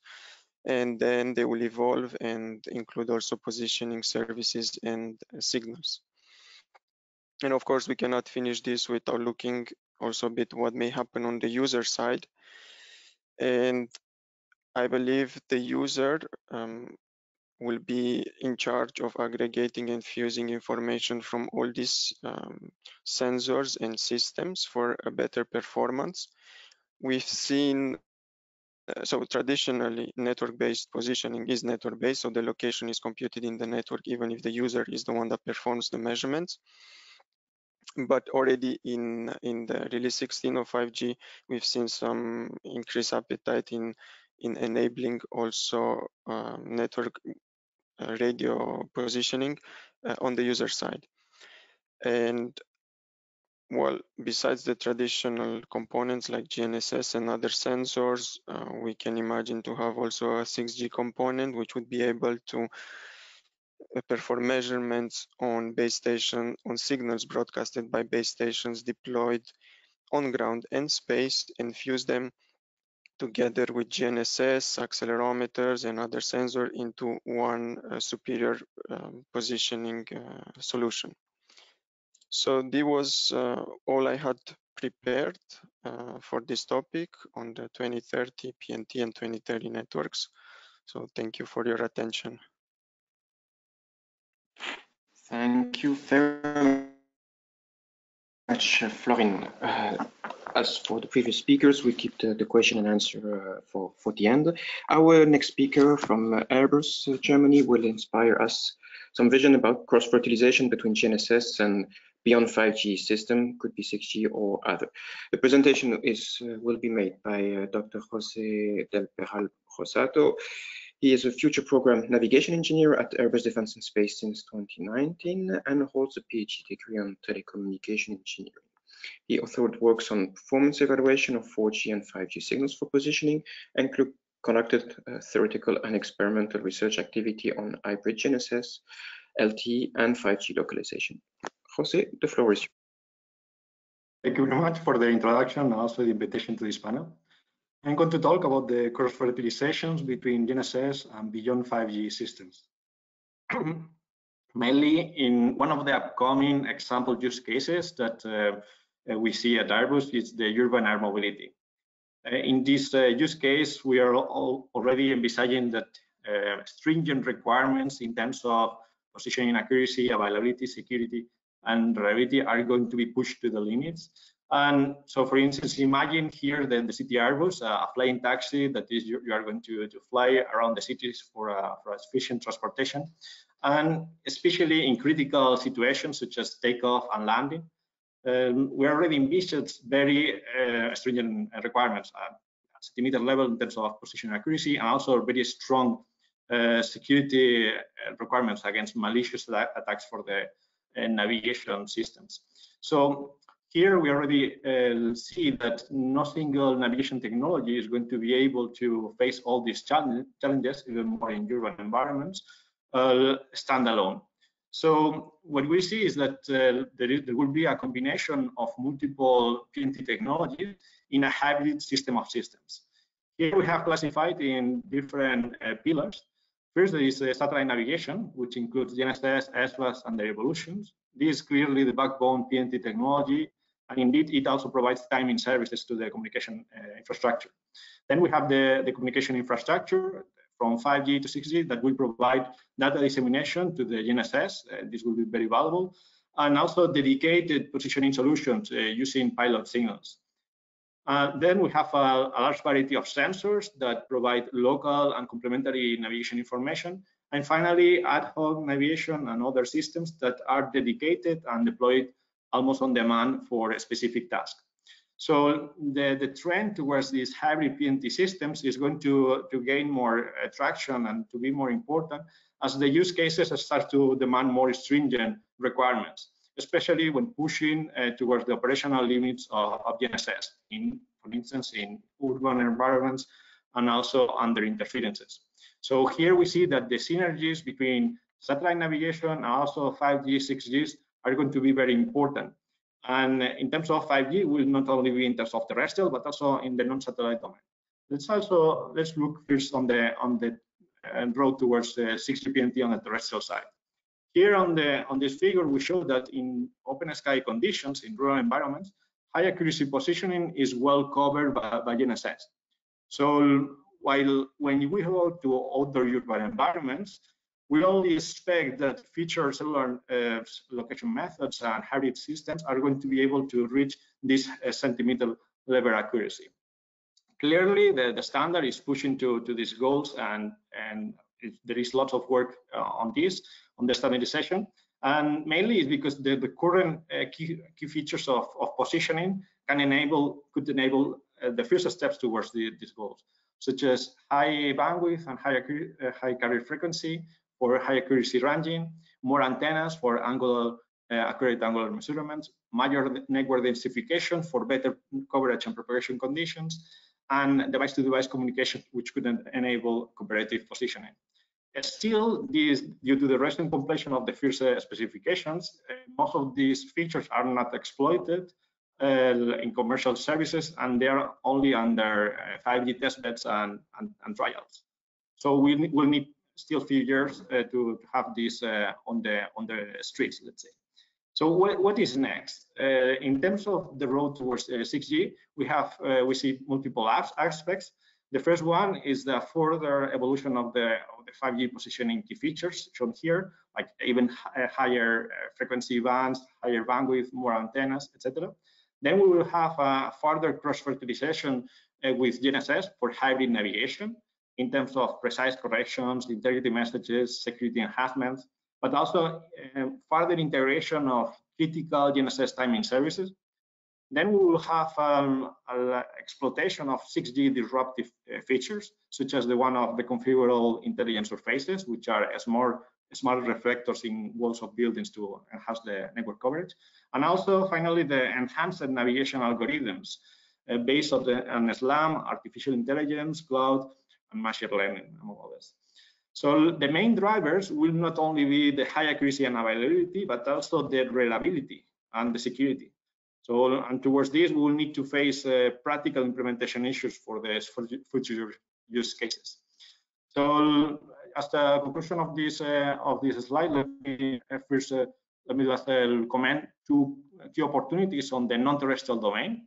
So, and the, and the, the evolution. So, here, here we see that the 5G non-terrestrial networks, which cover a wide range of platforms such as drones, HAPS, and satellites, including the, the LEO, are going to expand the network coverage beyond a local area, like in the, in the terrestrial. And then we have the, the other point that since lots of work has already been done on the 5G terrestrial positioning and protocols and mechanisms, this could be adapted to, to the current standardization. So far in the 5G NTNT, it has advanced at a good pace, but uh, there has not been any uh, positioning solutions based on the on the 5G NTNT uh, standard. So there is the need to, to further study, and there is an opportunity to include this in the future. On the LEO PNT side uh, and LEO mega constellations, there are more advances, but this is still at an earlier stage. Uh, most of the studies are based on signals of opportunities of, of using the, the communication system, uh, systems as signals of opportunity in terms of the LEO signals. And few of these systems already provide dedicated and proprietary navigation and timing services.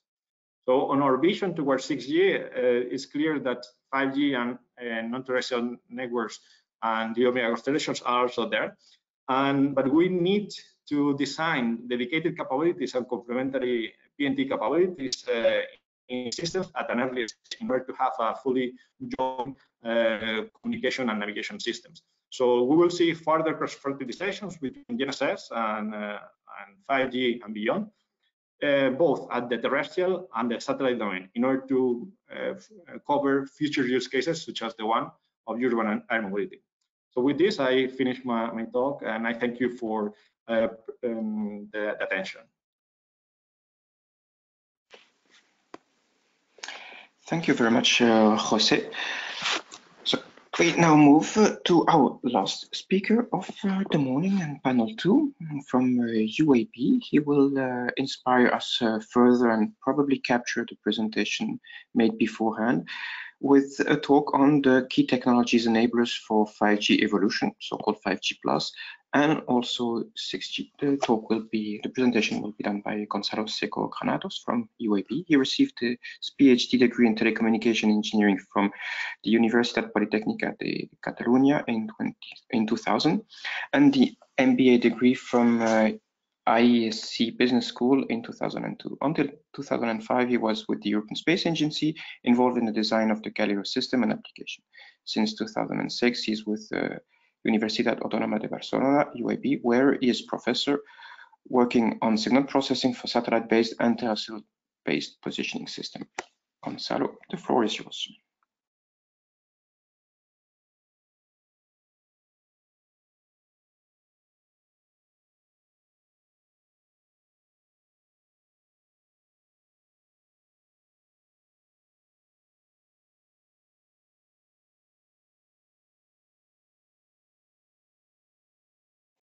Okay, you, you hear me now, right? And see my presentation on my camera? Yes, yes, we hear you, yes. Gonzalo. Okay, okay, okay. Okay, thank you. Okay, I, I thought that being the last one, I was going to be left with no time, and uh, that would that wouldn't have been bad because most of the things that I was planning to say have already been said. So, which, but you know, positioning is about accurate timing. Okay, okay, okay. Well, and in that sense, it's good because uh, this means that we are all converging to the same ideas. Okay, uh, this was the vision uh, that um, we have in the research uh, domain for 5G positioning and also for 5G beyond position beyond 5G positioning. And this is the let's say the idea that has driven research for the last uh, years, at least for some groups. Okay, we were thinking where in an environment like this one, where GPS is uh, probably denied, we could use uh, a base station uh, on the signals from a single base station to obtain the position and also the orientation of the user equipment, in this case, the car, uh, in, in an scenario where also there is uh, where there is a, a lot of multipath and the user equipment is not synchronized with the base station. So there is only one way uh, communication transmission. And also, if uh, in an environment like this, and only with only one base station, we could also provide radar-like mapping capabilities. So to determine where there, there are the reflectors or the scatterers, or where are the buildings, or where are the other cars. And also, if we could achieve this when the line of sight is blocked, because so only taking advantage of strong reflections. And an additional question is whether we could take, with new technologies, we could shape the environment in such a way that the environment could help us in uh, the positioning. And also, if 5G or beyond 5G could work as a monostatic radar with the uh, side link uh, signals or device to device communication could also be uh, a means for positioning between devices. Okay, Th these are the questions that have driven research in the last uh, years. Uh, some solutions have been found, but there are still, the problem is still valid for, for beyond 5G and 6G. Okay, the status in 5G positioning in, in, in the standards in 3GPP, localization with uplink and downlink uh, time difference of arrivals uh, has been studied and proposed, also with angular measurements with angle of departure and angle of arrival, and also on uh, multi-RTT uh, positioning. In the research domain, multipath has been turned from an enemy to a friend because multipath can help in position the UE even with a single base station and uh, in a multipath uh, rich environment. So 5G can work also as a bistatic radar because it allows mapping of the environment and tracking of the, of the, of the objects in the environment. And on top of that, 5G, of course, uh, allows to share the, the, location, the map, the object information, assistance information, GNSS corrections, and, and as, uh, as we have seen. However, further research is necessary because in, uh, in, in, release 16 positioning uh, study item, basically with simulations, uh, the, the position error that has been shown is in the order of uh, three meters indoor, 10 meters, 10 meters outdoor, with a latency in the order of seconds. But the study items and the use cases requirements require positioning errors in the order of centimeters, let's say 20, 30 centimeters. So basically there is still a big gap with uh, in the accuracy, latency, availability, and reliability, as also Enrique has mentioned, uh, between uh, what has been achieved so far and what are the uh, goals for uh, new user cases. So this is the positioning landscape that Jose has already uh, mentioned. Okay, we have seen an evolution uh, of the standards. And then nowadays we have very good GNSS accuracy exploiting carrier phase. And then we have the 6G vision of achieving centimeter accuracy, at least in, in small areas. Okay, these are the selling points of uh, 6G or the six, uh, the seven, let's say, technology enable, enable, enables. Uh, five of them, the first one, were already present in 5G uh, systems, uh, but have been now accentuated to uh, in 6G. So there is a move for high to high carrier frequencies, even terahertz. This is a key element in 6G. So bandwidth will be even wider, allowing better delay accuracy and delay resolution. We will have a larger number of antennas.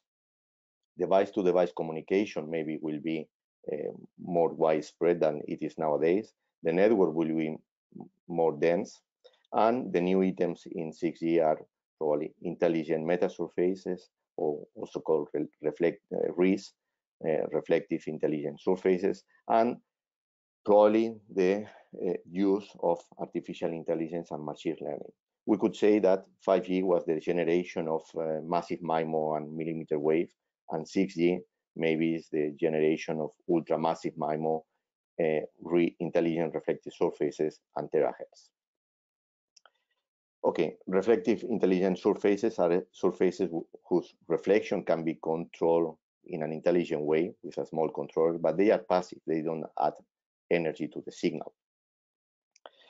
And uh, they can be very useful for positioning because they can add as new reference points.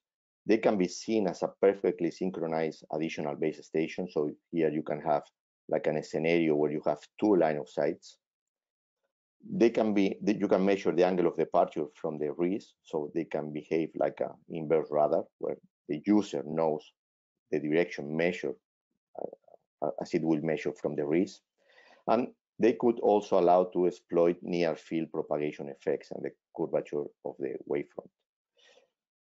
Artificial intelligence machine learning is a growing field in, uh, in, in, many areas, in many applications, and probably positioning will not be different um, because there will be a high, a, large amount of high dimensional information taken from a lot of systems, with uh, from a lot of sensors, and with in different environments. And having physical models for all this information can be different. So uh, artificial intelligence can help in revealing hidden patterns in the data, and one of these patterns can be the position.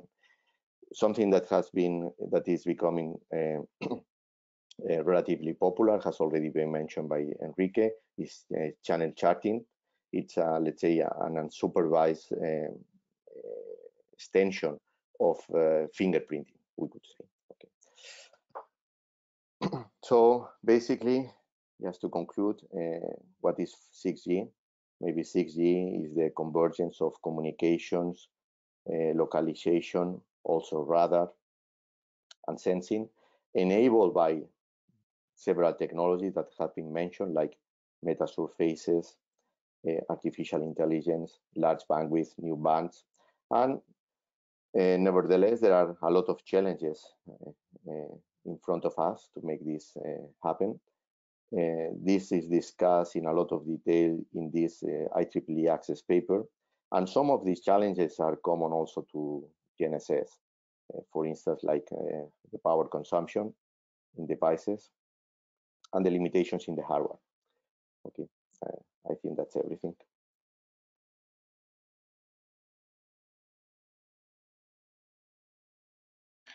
Thank you very much.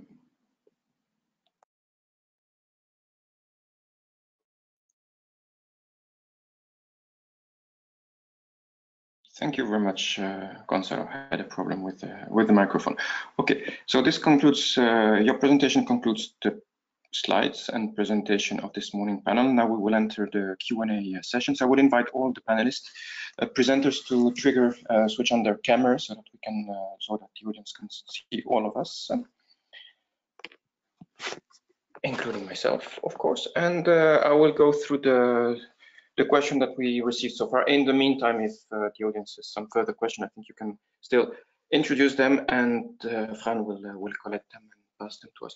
Uh, first question was, uh, I think, addressed mostly to Enrique. So I will start with him and then if someone wants to take further the floor. Uh, it resonates with your introduction and presentation about trustworthiness and authentication. What could be the role of cellular network in, in, in this? In particular, any uplink or network-based positioning technique that would not rely on a processing done in the user equipment, assuming or fearing that this processing on in the user equipment could be tampered with uh, in order to produce uh, a wrong position. Uh, example in the question, we're giving uplink, uh, RSSI, uh, ID, and so on. What do you think?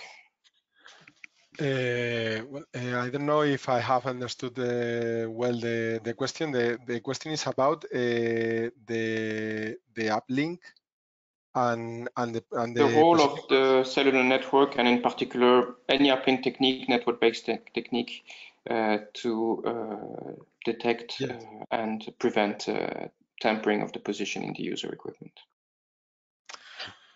Okay, the the uplink uh, or when you compute the position in the in the network, uh, it's obvious that uh, well you have uh, the it's difficult to to to tamper. I mean, you you need to authenticate the the user equipment in order to to perform that.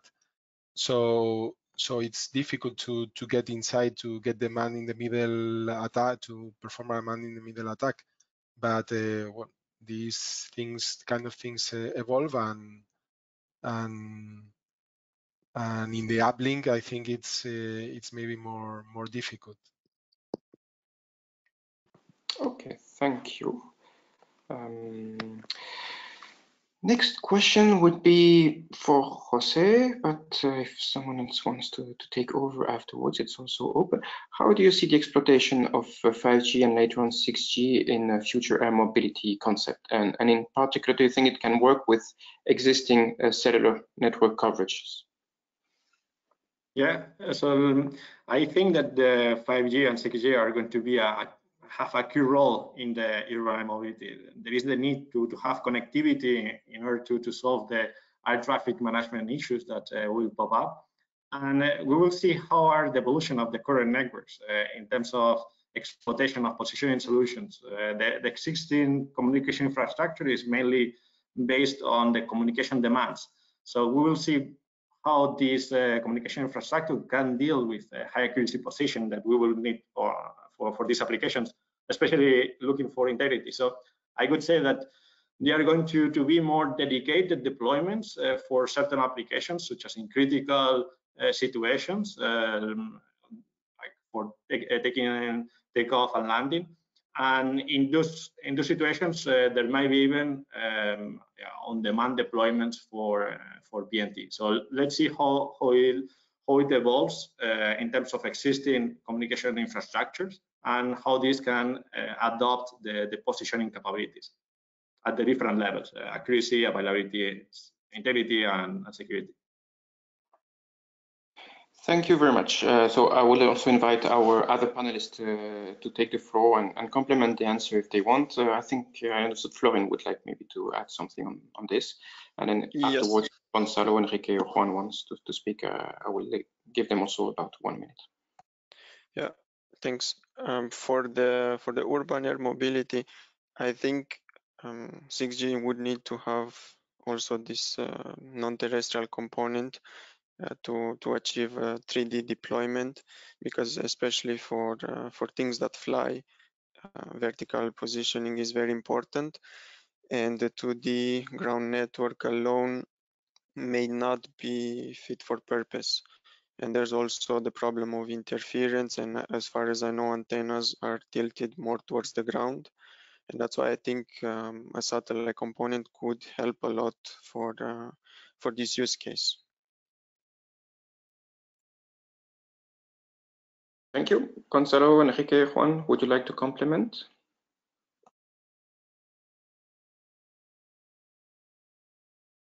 Okay, I see no reaction, so I presume uh, no. Well, we will probably have uh, later further opportunities in, in the wrap-up. I'll go to two additional uh, questions, uh, more technological oriented, maybe a bit more futuristic.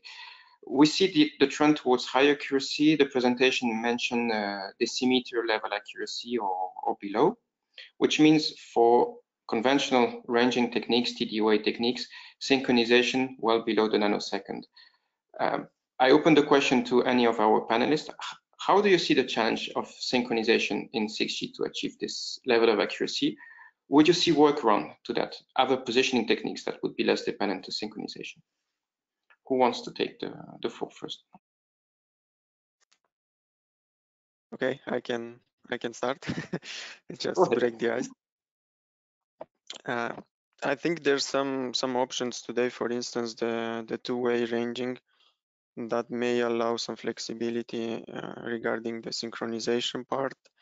And I know also in 3GPP there's studies to to find workarounds uh, for the synchronization error, which is a big a big challenge for all the other uh, one-way positioning techniques.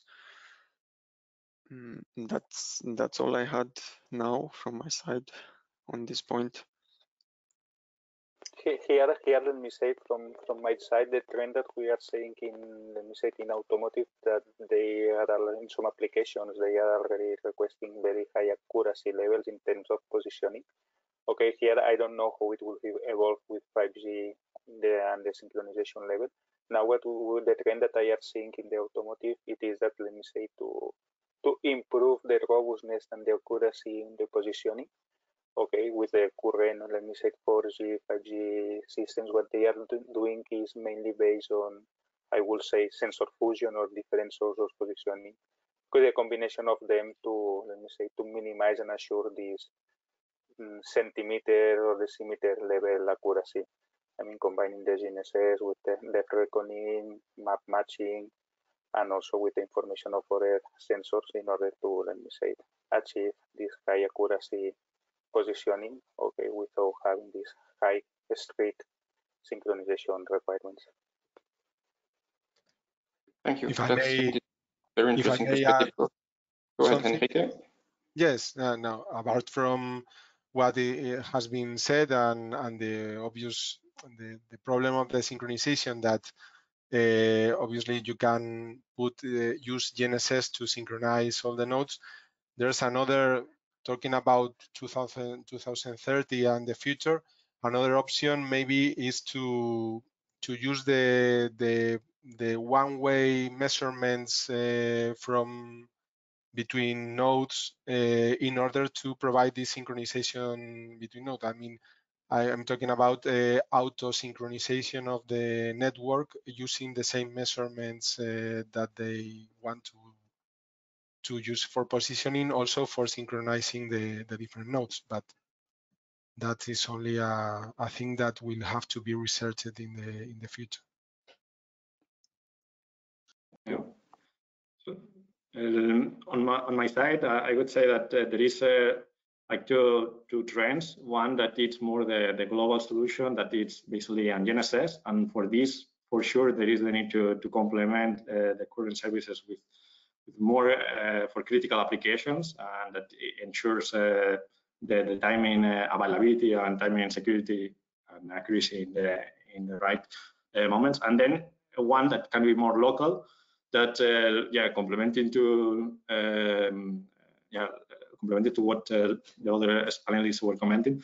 Yeah, it can be based on on the 5G based uh, or 6G based uh, measurement but also on other systems. Uh, in these other systems, uh, it can be from dedicated uh, deployments to to use this um, the synchronizations. That it's also the work ongoing, in, as uh, was commenting, in some time resilience study items.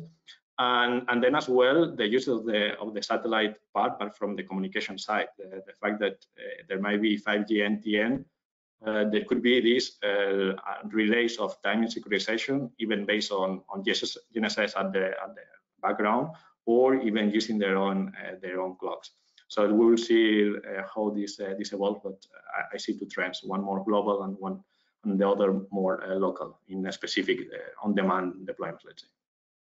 Yeah, let me add just something. yeah, yeah, I think that if, if, you use multi-base station solution, it's clearly that base station need to have to be synchronized. And uh, well, I think it's quite clear that uh, GNSS will provide a solution for this. And uh, in the complexity of the base station that we have seen, for instance, in the CTE presentation, uh, adding a GNSS receiver there, even a very accurate with high accuracy correction and so on, does not seem to uh, does not give the impression that this will add to the to the whole complexity of the network. And but on the other side, the GNSS will fail indoor scenarios or halls or things like this or factories. And this is why one of the visions of 5G position positioning and 6G positioning was positioning with a single base station. If you really make a reality to the positioning with only one base station, then synchronization it's uh, irrelevant because the base station will work like a radar basically or something like this. Thank you very much. Well, I will extend a bit this discussion beyond the typical urban environment. We see a lot of the presentation and discussion turning around dense high density for the network, urban uh, mobility, urban areas challenging uh, urban canyons. What about rural areas where there would be surely also challenging environment, mountains, natural canyons. We could even think of indoor in a rural area, uh, farming and so on. How do you see this? And can any one of you can take the floor first, and then I will uh, go through uh, the other panelists. Yeah. Go, go, go, go, go. Okay. Yeah, for the when it's going beyond the local area, beyond the, the urban, again, the one of the, the key solutions is to, to move to, to broader uh, platforms, either as I was commenting in the presentation from 5G non-terrestrials, and this can range from, from drones, HAPS, or, or satellites. So I could say that in all of this range of platforms, there can be some solutions that can uh, even target the, these indoor to outdoor transitions. And, and then if we go only to rural indoor, then this I would say that uh, it really requires more on demand uh, on demand deployments. Okay, I can also intervene on this one and fully aligned to Jose. I think we we need to consider non-terrestrial components here being uh, satellites or HAPS or drones. And as you could see in the presentation I gave, I think by exploiting these uh, flying platforms and for instance satellites in LEO, the, the coverage of a given system uh, expands greatly. And on another uh, note, also compared at least to GNSS, these uh, platforms closer to Earth would have better link budget and the signal will appear more stronger to users. So for forests and and other type of environments where GNSS is denied, this could help. Hmm. And also take into account the hybridization of the different uh, signals that are available. I mean, hybridization will become very important in these kind of environments, even if uh, GNSS it's almost denied denied uh, completely, but you have a few signals from GNSS uh, one uh, receiving signals from one node from one terrestrial node and you have other other signals from HAPS or or NTN, hybridization will will become uh, an important solution. Okay, thank you. Well, I think it links to uh, Juan's uh, presentation and also answer about sensor fusion and even massive uh, sensor fusion. Going to you, Juan, you focused on mobility autonomous vehicle autonomy level five. If we go for the crystal ball and, and are highly speculative and not uh, committing on, on the schedule when do you see this appearing uh, in our landscape I, I, think that let me say this question it is it, it is difficult to answer because the, there are two points the technical point that i think that it can be answered uh, more easily and then there are also the legal framework necessary for this kind of for this kind of applications. Let me say regarding the technical part that it is the one that I can answer. I, I, I will say that I think that the initial technology it is almost here. I mean there has been with different OEMs and different testings, and this one showing that with the current technologies at pilot level it is feasible to go to this level five autonomous driving from this one to the mass market, there are still an important gap. But I think that from, let me say, from technical point of view, I think that in not very large time, let me say 2025, 2027, I think that technically it, it should be feasible to start doing deployment, maybe not mm, mass level or let me say to all the all the population, but I think that it can start some initial deployments in uh, open roads with, without, without problem. But as I said, I think that there will be also this part more related with the legal part and something like that. Therefore, I don't expect to see real uh, autonomous level 5 before 2030 or something like that. So okay. until 2030, we won't be able to buy an autonomous car. I don't know. I mean, um, now now in Tesla they they have some. Let me say, I will not say level five, but I mean it is evolving quite quite fast. But I don't know if the technology is evolving quite fast. Regulation, I don't know how it will evolve. yeah, regulation regulation is insurance and I mean, in, in, Europe, they have been already done tests with, let me say, more than 2,000 kilometers with open road traffic conditions, and it has a success. I mean, that the technology, let me say, it is almost here, but it is still pending the regulation and also the social acceptance of the technology yeah. that it can be difficult. Thank you. So we are close to the end of our panel uh, number two. Before going to the poll and uh, discussion on the result of the poll, I would like to, to bring one last question to uh, our last panelist, uh, Gonzalo, who introduced uh, future technologies. Would like to have your view which one is, uh, according to you, again, crystal ball speculation, according to you, which one is the, the most likely to be adopted in the next 10 years and, and to emerge as a, as a game changer? Uh, yeah, it's difficult to say.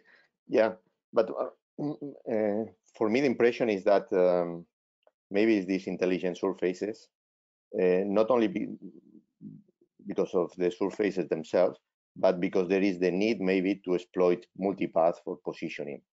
Uh, we have always been the idea, have the idea that non-line of sight, multipath reflections are degrading positioning performance, and, uh, and yeah, it, it's the case. But this, will always be present in urban scenarios, indoor, and uh, maybe there's, if we really want to achieve centimeter level, the, we, we, we have to take advantage of multipath and uh, instead of trying to combat multipath. And this can be done with the algorithms, uh, like uh, estimating the multipath, estimating the position of the reflectors, and so on, but also maybe introducing control multipath that you can take advantage of, of it. Yeah, this is my impression. Okay, thank you very much. Um, Florin, I was not sure whether you wanted to add something uh, for this one or not.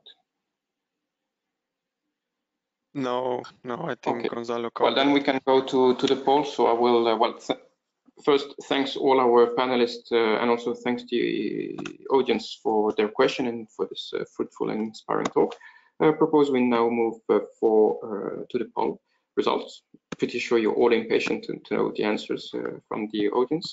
Uh, so maybe Fran, you take the lead and, and, the floor here to present our audience the results.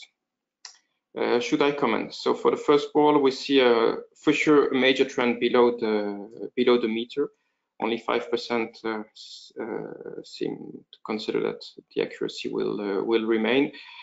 mostly somewhere in between 10 centimeter and one meter if I uh, follow well uh, and, and, read well the outcome of the of the poll, with however more appetite towards better accuracy. Um, maybe Fran or Florin, you want to comment also on this uh, first poll, or you prefer to wait for the the second set of answers uh, before triggering the comments. Well, I, I, I, can quickly add that I share the view. The 10 centimeter, I think, would be the next milestone to go for. I think below one meter is already targeted. Of course, it's a different thing if it will be achieved or in under which scenarios and conditions. But I, I see no reason not going beyond uh, beyond what is targeted today in the in this decade. Thank you.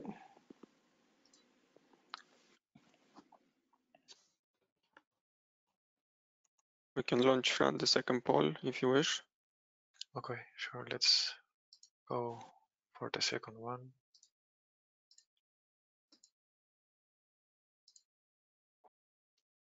Can you see it? Yes. So here, well, looking at this coverage area in terms of indoor outdoor, there is a clear uh, trend towards indoor and uh, much more uh, higher priorities towards indoor. I think it is quite clear. Obviously, from all the presentation, we mentioned autonomous vehicle, air mobility, rural areas. Outdoor is still important, but it looks from the audience that the main trend will go to indoor.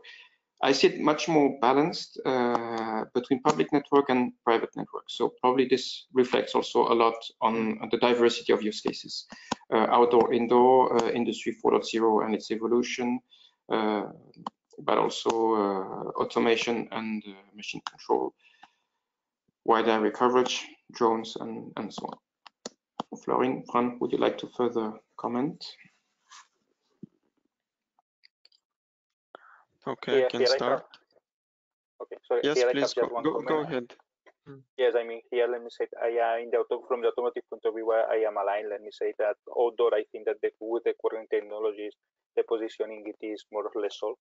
Okay, where it is missing, it is the positioning, especially in indoor scenarios where GNSS, it is not existing, and these things for the reason I align that one of the priorities for, let me say, 5G, 6G and new positioning technologies should be to improve the indoor scenario where GNSS are, is dead, let me say.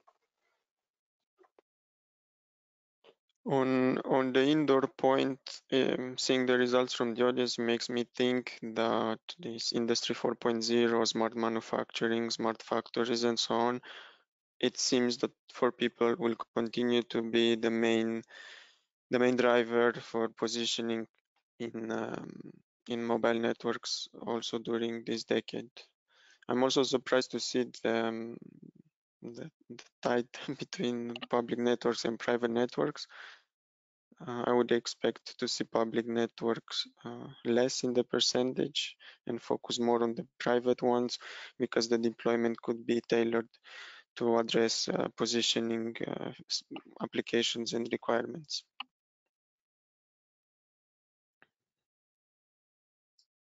Okay, very good. Well, Florin, Fran, as you are organizer, I will now pass you the ball for, for the wrap up, uh, whether you want to uh, have comments from our panelists on, on this poll or further question from the audience. Uh, up to you.